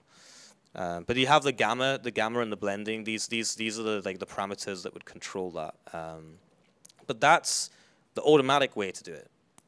The manual way to do it sometimes is better because when you have like yeah, some, sometimes you get like you get like it, it, works, but you get like kind of a little bit of a line or something from the auto blends, and you need to actually do it manually. And I guess the way to do that would be um, to actually use the camera and just mask off in the camera would probably work fine. So when you so if I, if if I've got this camera now, this is this render here is from my camera's point of point of view. So what I could do is just actually use a linear mask on it, and then on my second camera, I'd use a linear mask on that. And in theory, it should just work. Now I say that, I've never actually tried it. but I'm pretty reasonably confident that's how luminosity does it. I think it's just like a linear mask, and it works. That works really well. So you basically add a you you add like an edge blend uh, for each each corner. Yeah. In fact, in fact, there is a projector blend component somewhere in Touch, I think. So if I go down, yeah, there's a projector blend component here. So we can actually use that to um, to blend two projectors together. It's really complicated though. uh, in the normally, what I would do is I would just actually use a ramp yeah, and then just do it with the ramp, and then have four ramps multiplied together if you want to do soft edges on all four all four sides. Yeah, so that's kind of the the probably the best way to do it. Um,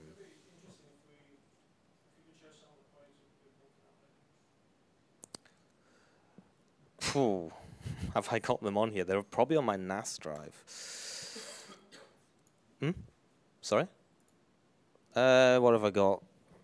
I think most of the stuff I've got on here is actually um, my either projects that haven't happened yet, so I can't show you them, or projects that are actually more about. Um, yeah, I think most. Oh, Luminosity is actually in there.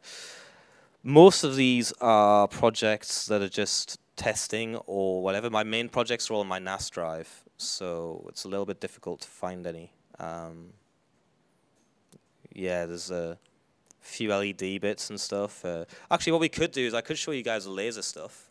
Should we do lasers quickly? Yes. Mapping?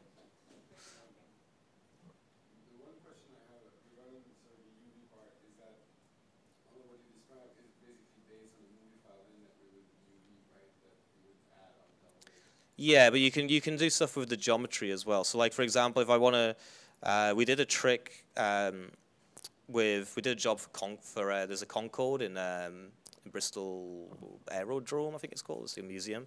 And we did a trick for that where we actually made the uh, the the, is the Concorde actually like flies out of the Concorde.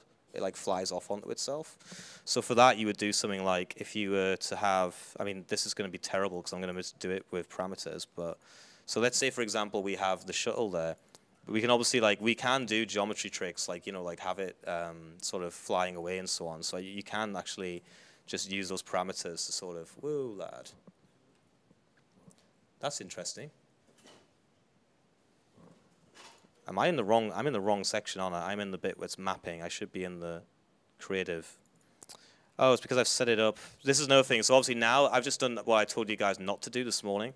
So what I've done here is I've set up my render and I'm working directly creatively in my CamSnapper render. And obviously that means I'm no longer tied to my geometry anymore. I can just send stuff out to, so I have to reproject my geometry back onto the model, like we did this morning. So if you want to do that trick. But I mean, you can do, so you can do, um, but you can do, in fact, just, just, I'll just ignore the masking for now. Um, in fact, what I'll do is I'll cheat it this is a way of cheating your masks. If you don't want to have to go through all that reprojection stuff, you can just make yourself a nice white render, lock it, and then multiply it back with the original. So, yeah. And now, so now when I actually go and do that, it will, um, That should now actually transform properly without.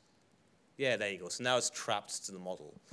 So what, but what we could do is like we could instance particles and stuff off the geometry. So if I like go in and render some particles, we can birth a, a lo- whole load of them. Uh, 0.1. I don't know how that looks right now. I don't know if it looks good. Yeah, so obviously we, could, we can we can like start putting wind on them and stuff. Uh, let me just. They can fly. So I put a little bit of wind on, like I don't know, 0. I don't know, I don't know which way my shuttle's actually oriented right now. I'm just gonna check. Yeah, z-axis. So what I can do is I can say, okay, let's birth some particles, and then let's make it like I don't know, longer, uh, thousand. All right. So now we should get. Have we got particles moving down, or are they just still? All right. No, I think it's because my. I think it's because this is an actual scale shuttle. Oh, there we are. What? What is going on? Oh, they're going. Are they going down the right axis? Oh yeah, they're going the wrong way. They're going in the. Sorry, they want to go in the z-axis. Yeah, that's why. Yeah, three point two. Oh, the wrong way. Minus. Yeah, so we could do something like this where we like have the particles coming off. Um, and is is that actually now sending them the right way? Yeah. It's getting there. Yeah, you know, we we can play around. I mean. Yeah, random sort. Yeah, we can sort by random, so we can sort the points by random. Ooh, and then we get this kind of thing. And then we can obviously do a little feedback loop in there to give it a bit more, uh, a little bit more trace liney look. Um, so if I feedback that, and then, whoa. And does that look any good, or does this still, I can't actually see what I'm doing, so I'm, is that cool? Yeah, so obviously, yeah, you can work with the geometry and do things like, yeah, instancing particles on there. Um, and yeah, you can mix and match that with pre-rendered and do. You know, I think there's, especially with with, with the shuttle, it's actually it's quite difficult, obviously, to create content for because there's all sorts of things you can do.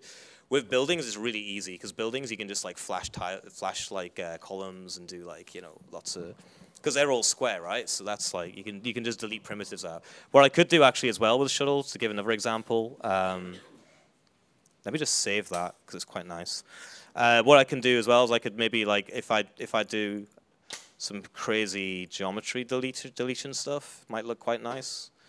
But the problem with the shuttle is it's really dense, so deleting uh, primitives is quite crazy. So, so what I can do is delete primitives. Uh, I sort I sort my primitives randomly, and then I can delete those by range. So I, have only got a certain number of uh, faces that are going to be allowed on the geometry. And this is a trick that's quite good with lasers as well. Um, so I delete that, and then what I do is in my sort, because I'm sorting random, if I change the seed, in fact you can't see that, if I change the seed, then you should get, uh, oh, primitive random, sorry.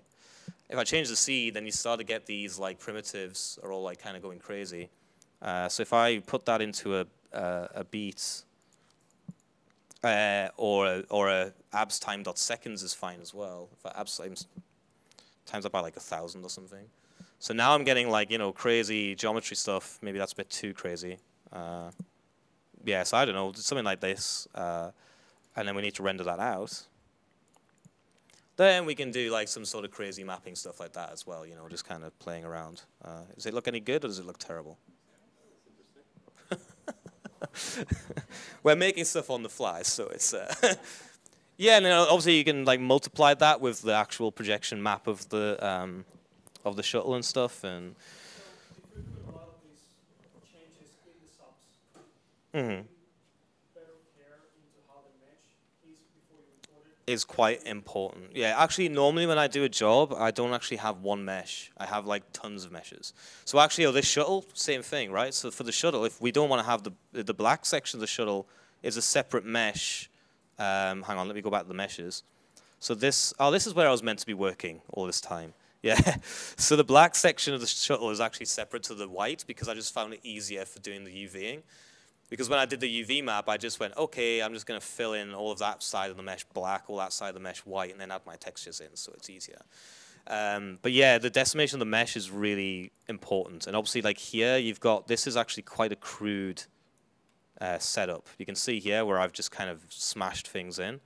Um, it's not the nicest model in the world, let's put it that way. Um, but it kind of, you know, it, it works for what we're doing here today, but I wouldn't use it for a, uh, yeah, I wouldn't sell it to a client.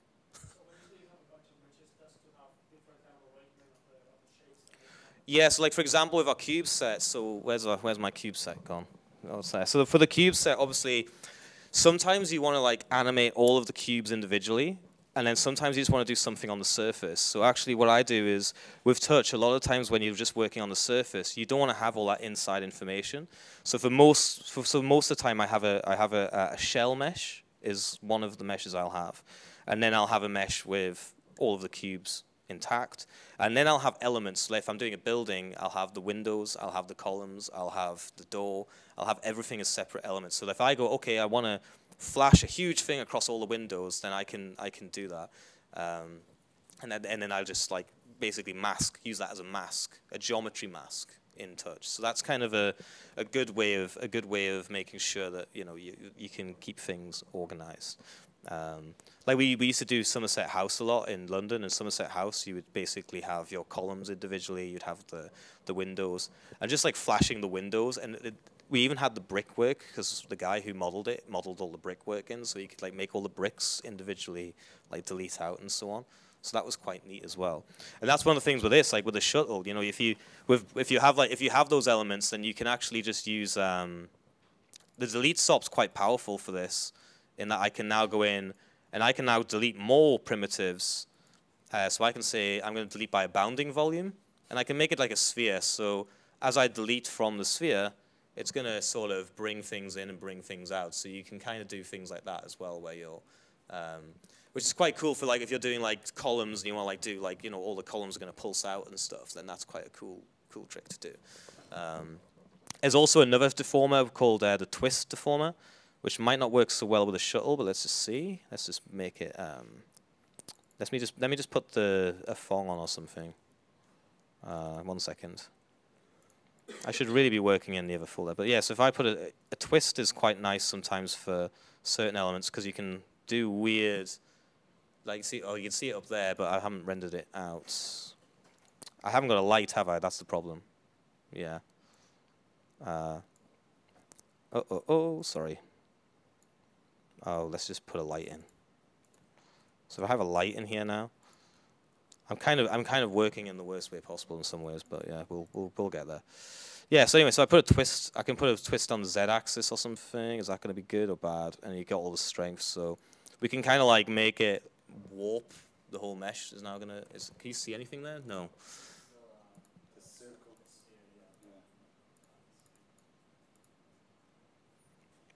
Oh. A topology wireframe. That should be a little bit better for seeing. Yeah. Um, yeah. So if I uh, twist this now, is it gonna is it gonna work? Oh, I've still got all the feedback on as well, which is not gonna help. So let's get rid of that. Yeah. Uh, yeah. So that's z-axis, but you can sometimes like for for doing like building warps and stuff, it's quite nice to use the twist deformer because it can do weird, weird, funky things. Uh, but yeah, z-axis is definitely the one. And you've also got like bends so you can do like bending and stuff. But on a shuttle, it's not the best. but it's got roll off, and you can like obviously animate the roll off, so you can have things like kind of twisting as they go around and so, and so on as well. Uh, and obviously because it's a shuttle, we can we can do things like. Um, you know what? I'm just going to go back to my UV map because it's easier to manage. Um, right, so that's back to our original. Yeah, let's get out of here. It's crazy. Yeah, so actually, uh, if you want to, you can obviously just like do instancing onto it as well, and then have the instances like pulsing down. So if I was to uh, maybe use um, a new, if I just make a, a, some spheres, actually this might look crap because again, it's a, it's not the the best mesh in the world for this, but we'll try. But if I, uh, yeah, if I have a, a load of boxes um, that are rendering, and I want to instance those from uh, the merge one. So here's go dot slash merge one. And when I do that, it's going to want me to give some, oh my god, it does not like that. It's a heavy mesh. This is one of the things. Well, once you get into like really heavy meshes, you start to get into GLSL land at some point, and that's when things get really complicated. But uh, hang on, let me just, let me just, yeah, I'm gonna resample. Yeah. So what I can do is, yeah, just go and re. Hmm. Oh yeah, loving it. Yeah, so obviously you can resample. You can resample. Uh, whoa. I don't know. Try that. See if it works. Uh, resample one now. See if this is gonna work. Yeah, touch side. The obviously the the SOPs at the moment are on the CPU, so everything's really kind of uh, a little bit heavy still. But uh, once Vulkan, apparently when Vulkan comes, it's going to be the GPU SOPs, and that's going to be like super quick, and it's going to be great. Um, so that, that that will speed up this process, and it does not like that either. Oh, I think I saved. I think I saved. Yeah, I could hear your, your computer he was crying. Screaming, screaming computer. I'm guessing it's shuttle.toe. Uh, hmm. Yeah, sorry. That's that's just a classic. You have to have at least one crash during a workshop. About three hours into doing something. Yeah, maybe we shouldn't be instancing on it. Oh well, we're back to the particle bits. That's nice. At least that looks good. Actually, we should probably just instance on these particles, right? Because there's probably less of them than there was on geometry. It's going to look nicer. So if I uh, open up a separate window. So if I instance on these, that's probably going to be cooler. So I'm going to make a, I'm going to make a little box.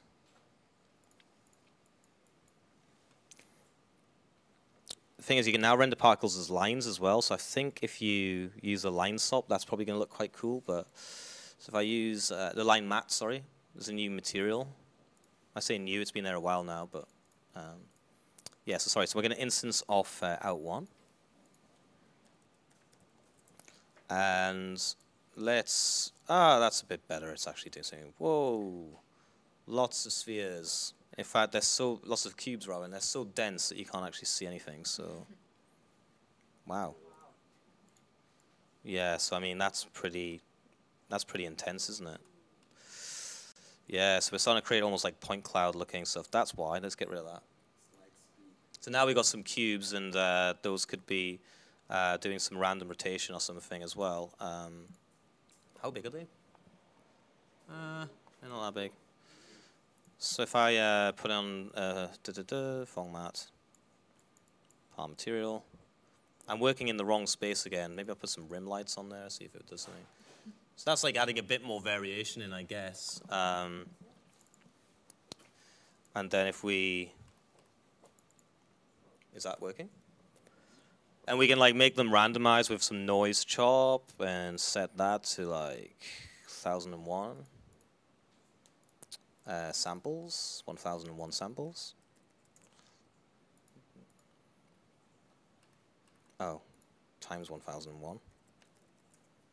Okay, so now we can use like the noise to drive the scale or something as well. So it might go a bit crazy, but um, oh, you can't do that on this bit yet, can you? Uh, that needs to be.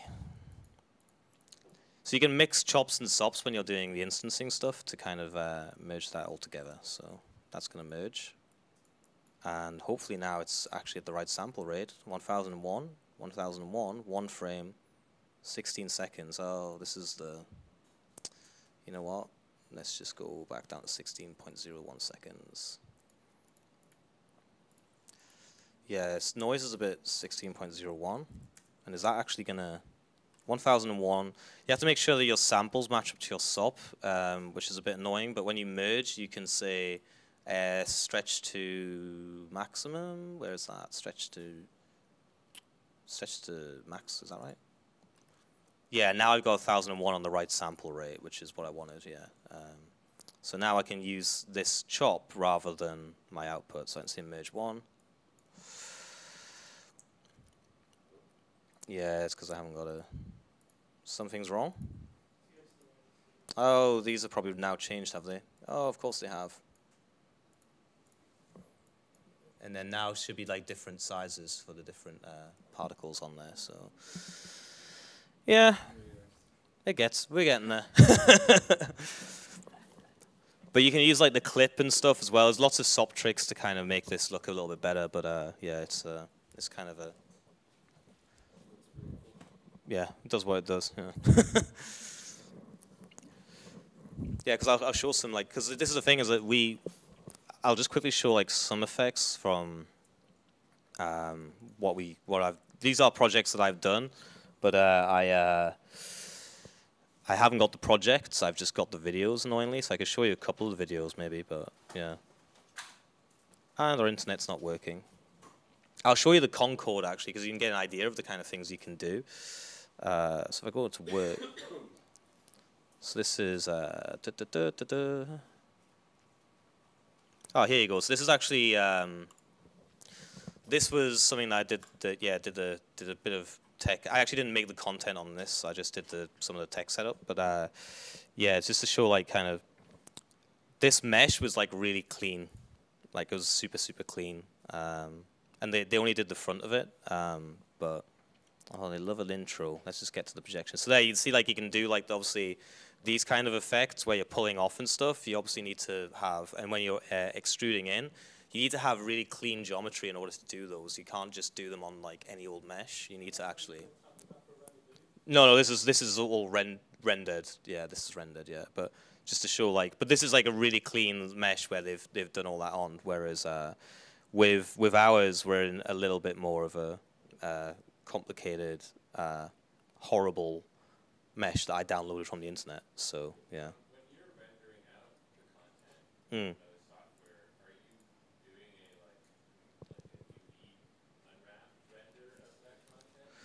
Depends on the depends on the job.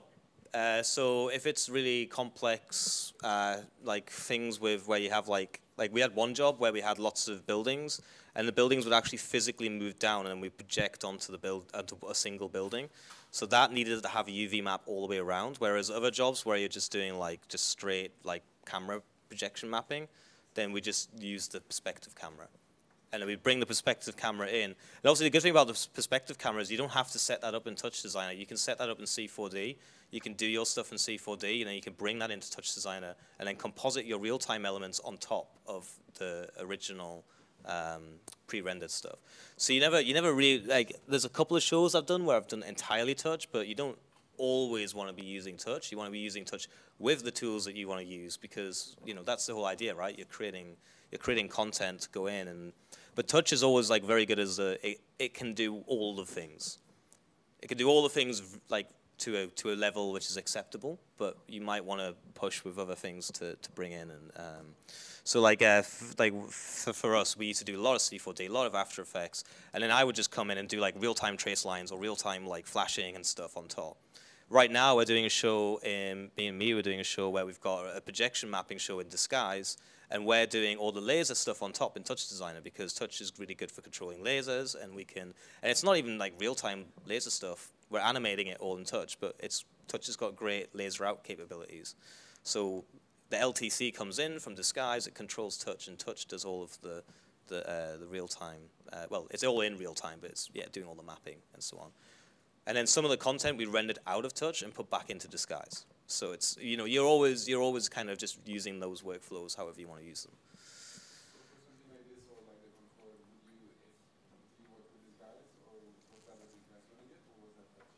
Sorry, what's that for? Concord's disguise. Yeah, yeah.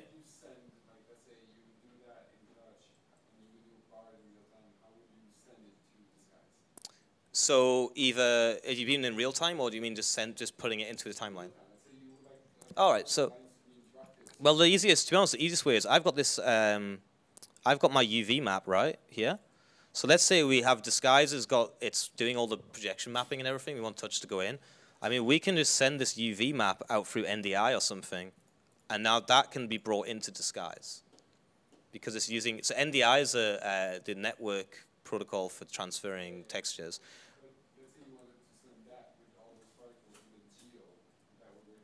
Well, yeah, yeah. So what we can do is we can. So at the moment, obviously, I'm rendering from the cam CamSnapper camera, but if we wanted to, we could render this from the UV map, the UV unwrap. Oh, which is not correct. That's fun.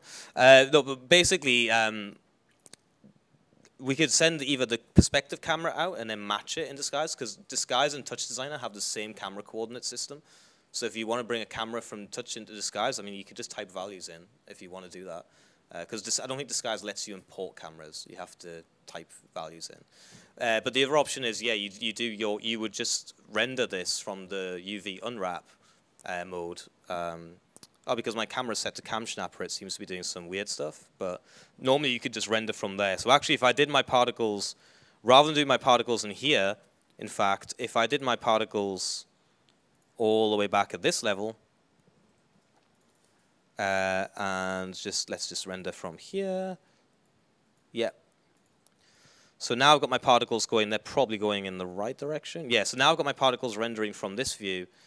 They're coming into my, oh, a mat is present. Duh, duh, duh. Oh, because I need to have a, um, a constant. There's something crazy going on, of course. Am I rendering everything else still? Oh, I'm rendering this box. Okay, that can go away. And I'm still probably instancing. It's interesting. Apparently I don't have UV attributes on... Ah, because when you render... Okay. So that's actually something interesting that you've just discovered. So when you render from the UV map, it can only render the UV object as rendering, which is not no, but that is something actually, to be honest, we should be able to. What you could do is, hang on, let me just think of as a way to do. What you can do is you can use this SOP to create a UV unwrap and then map the particles back on. But actually, that's a feature request. I think that should be in there. You should be able to specify the UV unwrap camera, a mesh, the UV unwrap mesh, and then be able to do. Hmm. Actually, I'm not sure how you would do that. Because what you can do here is I could, so I could, I could say, um, I could reorganize my points to have my texture coordinates. We're really going down the rabbit hole now. I could reorganize my points to be, um, so if I go back here now, so now I've got, this is my, apparently my UV map, but doesn't look very good. Uh, probably because I have to facet everything first. But yeah, you could, hang on a second. There you go. So there's my UV map now as a geometry. So what I could do is projection map back onto it and render it from an orthographic camera. So what is, uh, guys, derivative. what? How, how does this happen? Ivan? You don't know? I hit W, and apparently that turns... I have got no control over my viewers anymore. oh. Save, reload. I've seen that happen like once or twice before, but... I lost all my active viewers. All, all the bottom of my nodes all just disappeared, yeah.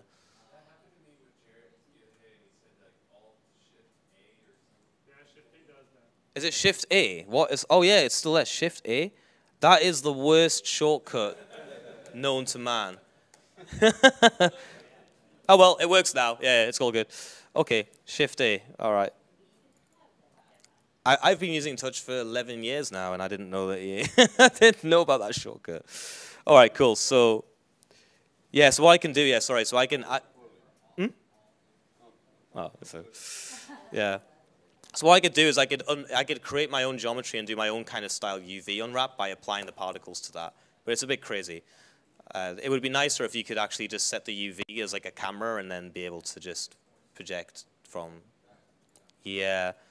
Um, I'll bring that up with Malcolm because that's actually quite a good suggestion. I think that would be quite cool if you could do that, yeah. Um,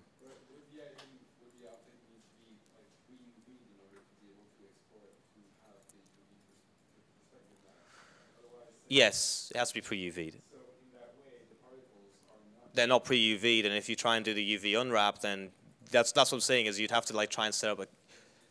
But you could maybe do it from yeah, it's a bit weird. You could maybe just do some kind of weird camera conversion with that. I don't know. It's a bit strange, yeah. I'll bring that up with Malcolm because he, he he put that in, and it's actually I think that would be interesting if we could if we could do that. For because for putting lights and stuff around, right, it works really well. But obviously, when you do particles, you need to have a a camera. Well, yeah, it would be interesting. Let's say you want to do a wind simulation on the shuttle. Let's say how the aerodynamics works. You know? Yeah, well, that's it exactly. You need you need that you need that uh, UV map. Yeah. Okay. Otherwise, you would have to animate that in After Effects, which the which finding out the whole physics of it would be extremely hard. Ah, right. Yeah, that's true. Hmm. Food for thought. Yeah, that is actually a, a point. Yeah. Okay, where are we at? What time we at? Quarter past four. Whew. How are you all feeling? How are you feeling?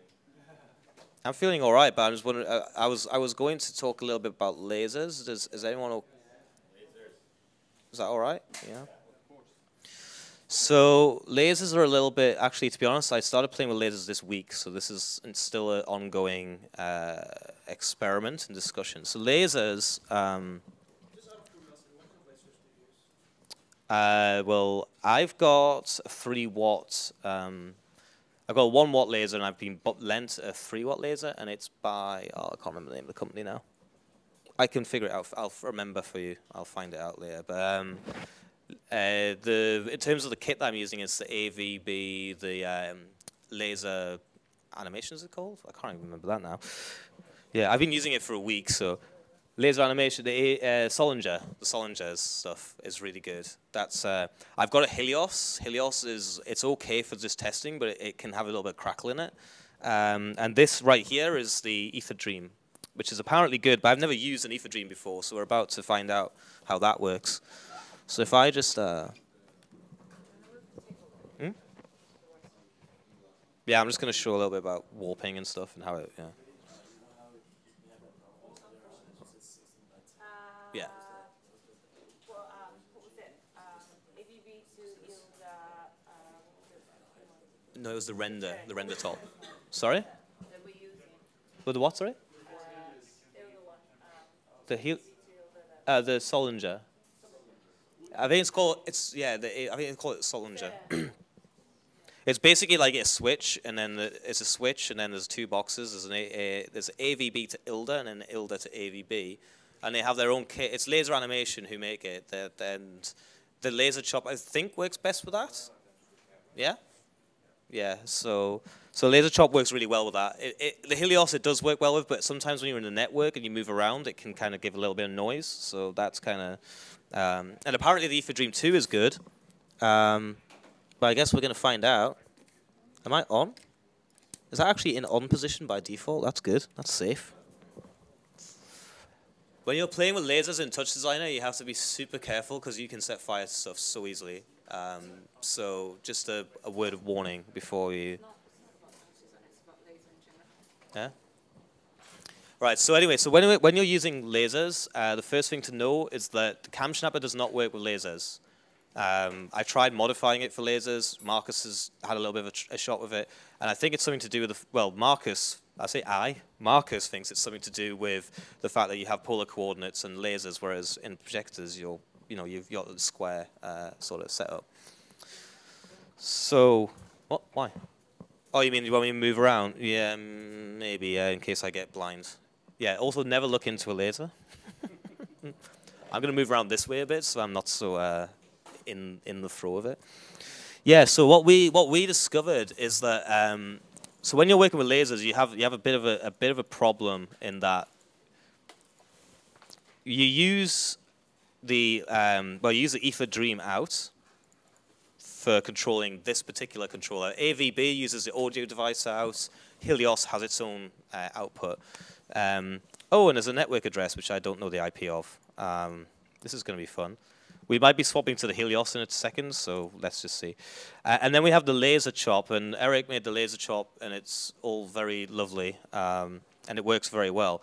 The first thing you want to do on the laser chop is when you go to output color, is turn the scale down to like 0.05 or something. And the reason for that, before you plug anything into it, because the reason for that is uh, if you don't, you might end up sending a very, very, very harsh point at in one place at full brightness, and that will burn through stuff. Like it, it will actually. Um, yeah, so you have to be you have to be super careful when you're using lasers. And lasers don't accept um, video; they accept geometry. So you so let's say for example we have a circle, we can put that circle in, and in theory it might work, but let's see, mm, no, because there's IP address addresses. a bit weird. Uh, what I might. Oh, is that what you do? Do you? I've never used an Dream before. Ah, look at that. It's not connected. Um, that should be working, right? Hmm? Pull devices. Oh, look at that. Wee. We're all working together. We're getting there. 192.254. Uh, and then we got 126.121. Cool. So anyway, so apparently you use the ETH Dream DAT to get the information. Yeah, 169. Cheers. Yeah, cool. So use the ETH Dream DAT, and we're on port 67654 to send our laser. Now, that should be sending out, but I am sending out a really small scale, so let's just try boosting that up. Uh, no. Is our laser set up to ILDA output? Doop doop doop. Sorry. Oh, it doesn't have a. It doesn't have. It's just switches. This is fun. It's got power, but it's got no signal. Okay. Learning the hard way. Oh, good shout. Is that actually on or off? Yeah, it could be my network adapter as well, actually. It could be that I'm on a static IP, which is more than likely. So if I go on here, uh, I am on IPv4. Oh, look at that! I'm on a I'm on a static IP. Let's try that. No, it wants me to be on the same IP range probably. 169.254.126.141. Oh, 141. No, 121, yeah. You know what? I'm just going to use the Helios because I know it. It's better. Uh, one second. Where's my Helios gone?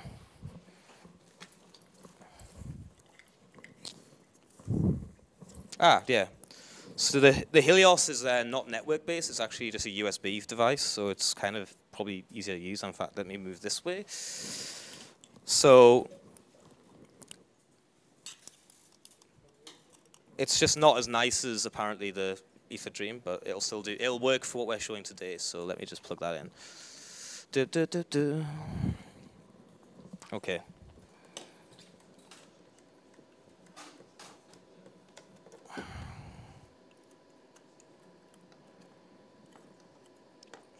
All right, cool. So, just delete that out, Helios out. In fact, this kind of this is probably quite a good demo in a way because you can see how the Helios uh, works. Ah, we're not getting anything because something's turned off. Ah, there we go. Way, okay. So yeah, so lasers, it just sends out geometry. So you can obviously like you can center your geometry, um, and you can bring it up. So if I bring it up here, you can kind of see there. Our laser's just aiming at the corner of the room, uh, so I can sort of change my geometry around in here, and it will go in. Now, with lasers, what you can do is you can do you can do like mapping with lasers. So if I have a rectangle, for example, and I want to just put a mapping on that wall, then I can use a rectangle, uh, and you'll see it's got this really horrible curved edge by default, and that's because we have this um, this thing called the vertex hold parameter in the laser chop, and we can actually bring that up, and now we've got a nice little square. And the way we the way we map uh, the laser chop, so uh, when we do our stoner stuff, we do the corner pin. Well, actually, inside the stoner, what it's doing is it's actually corner pinning a piece of geometry, and they've actually released that derivative released that as something called the corner pin SOP.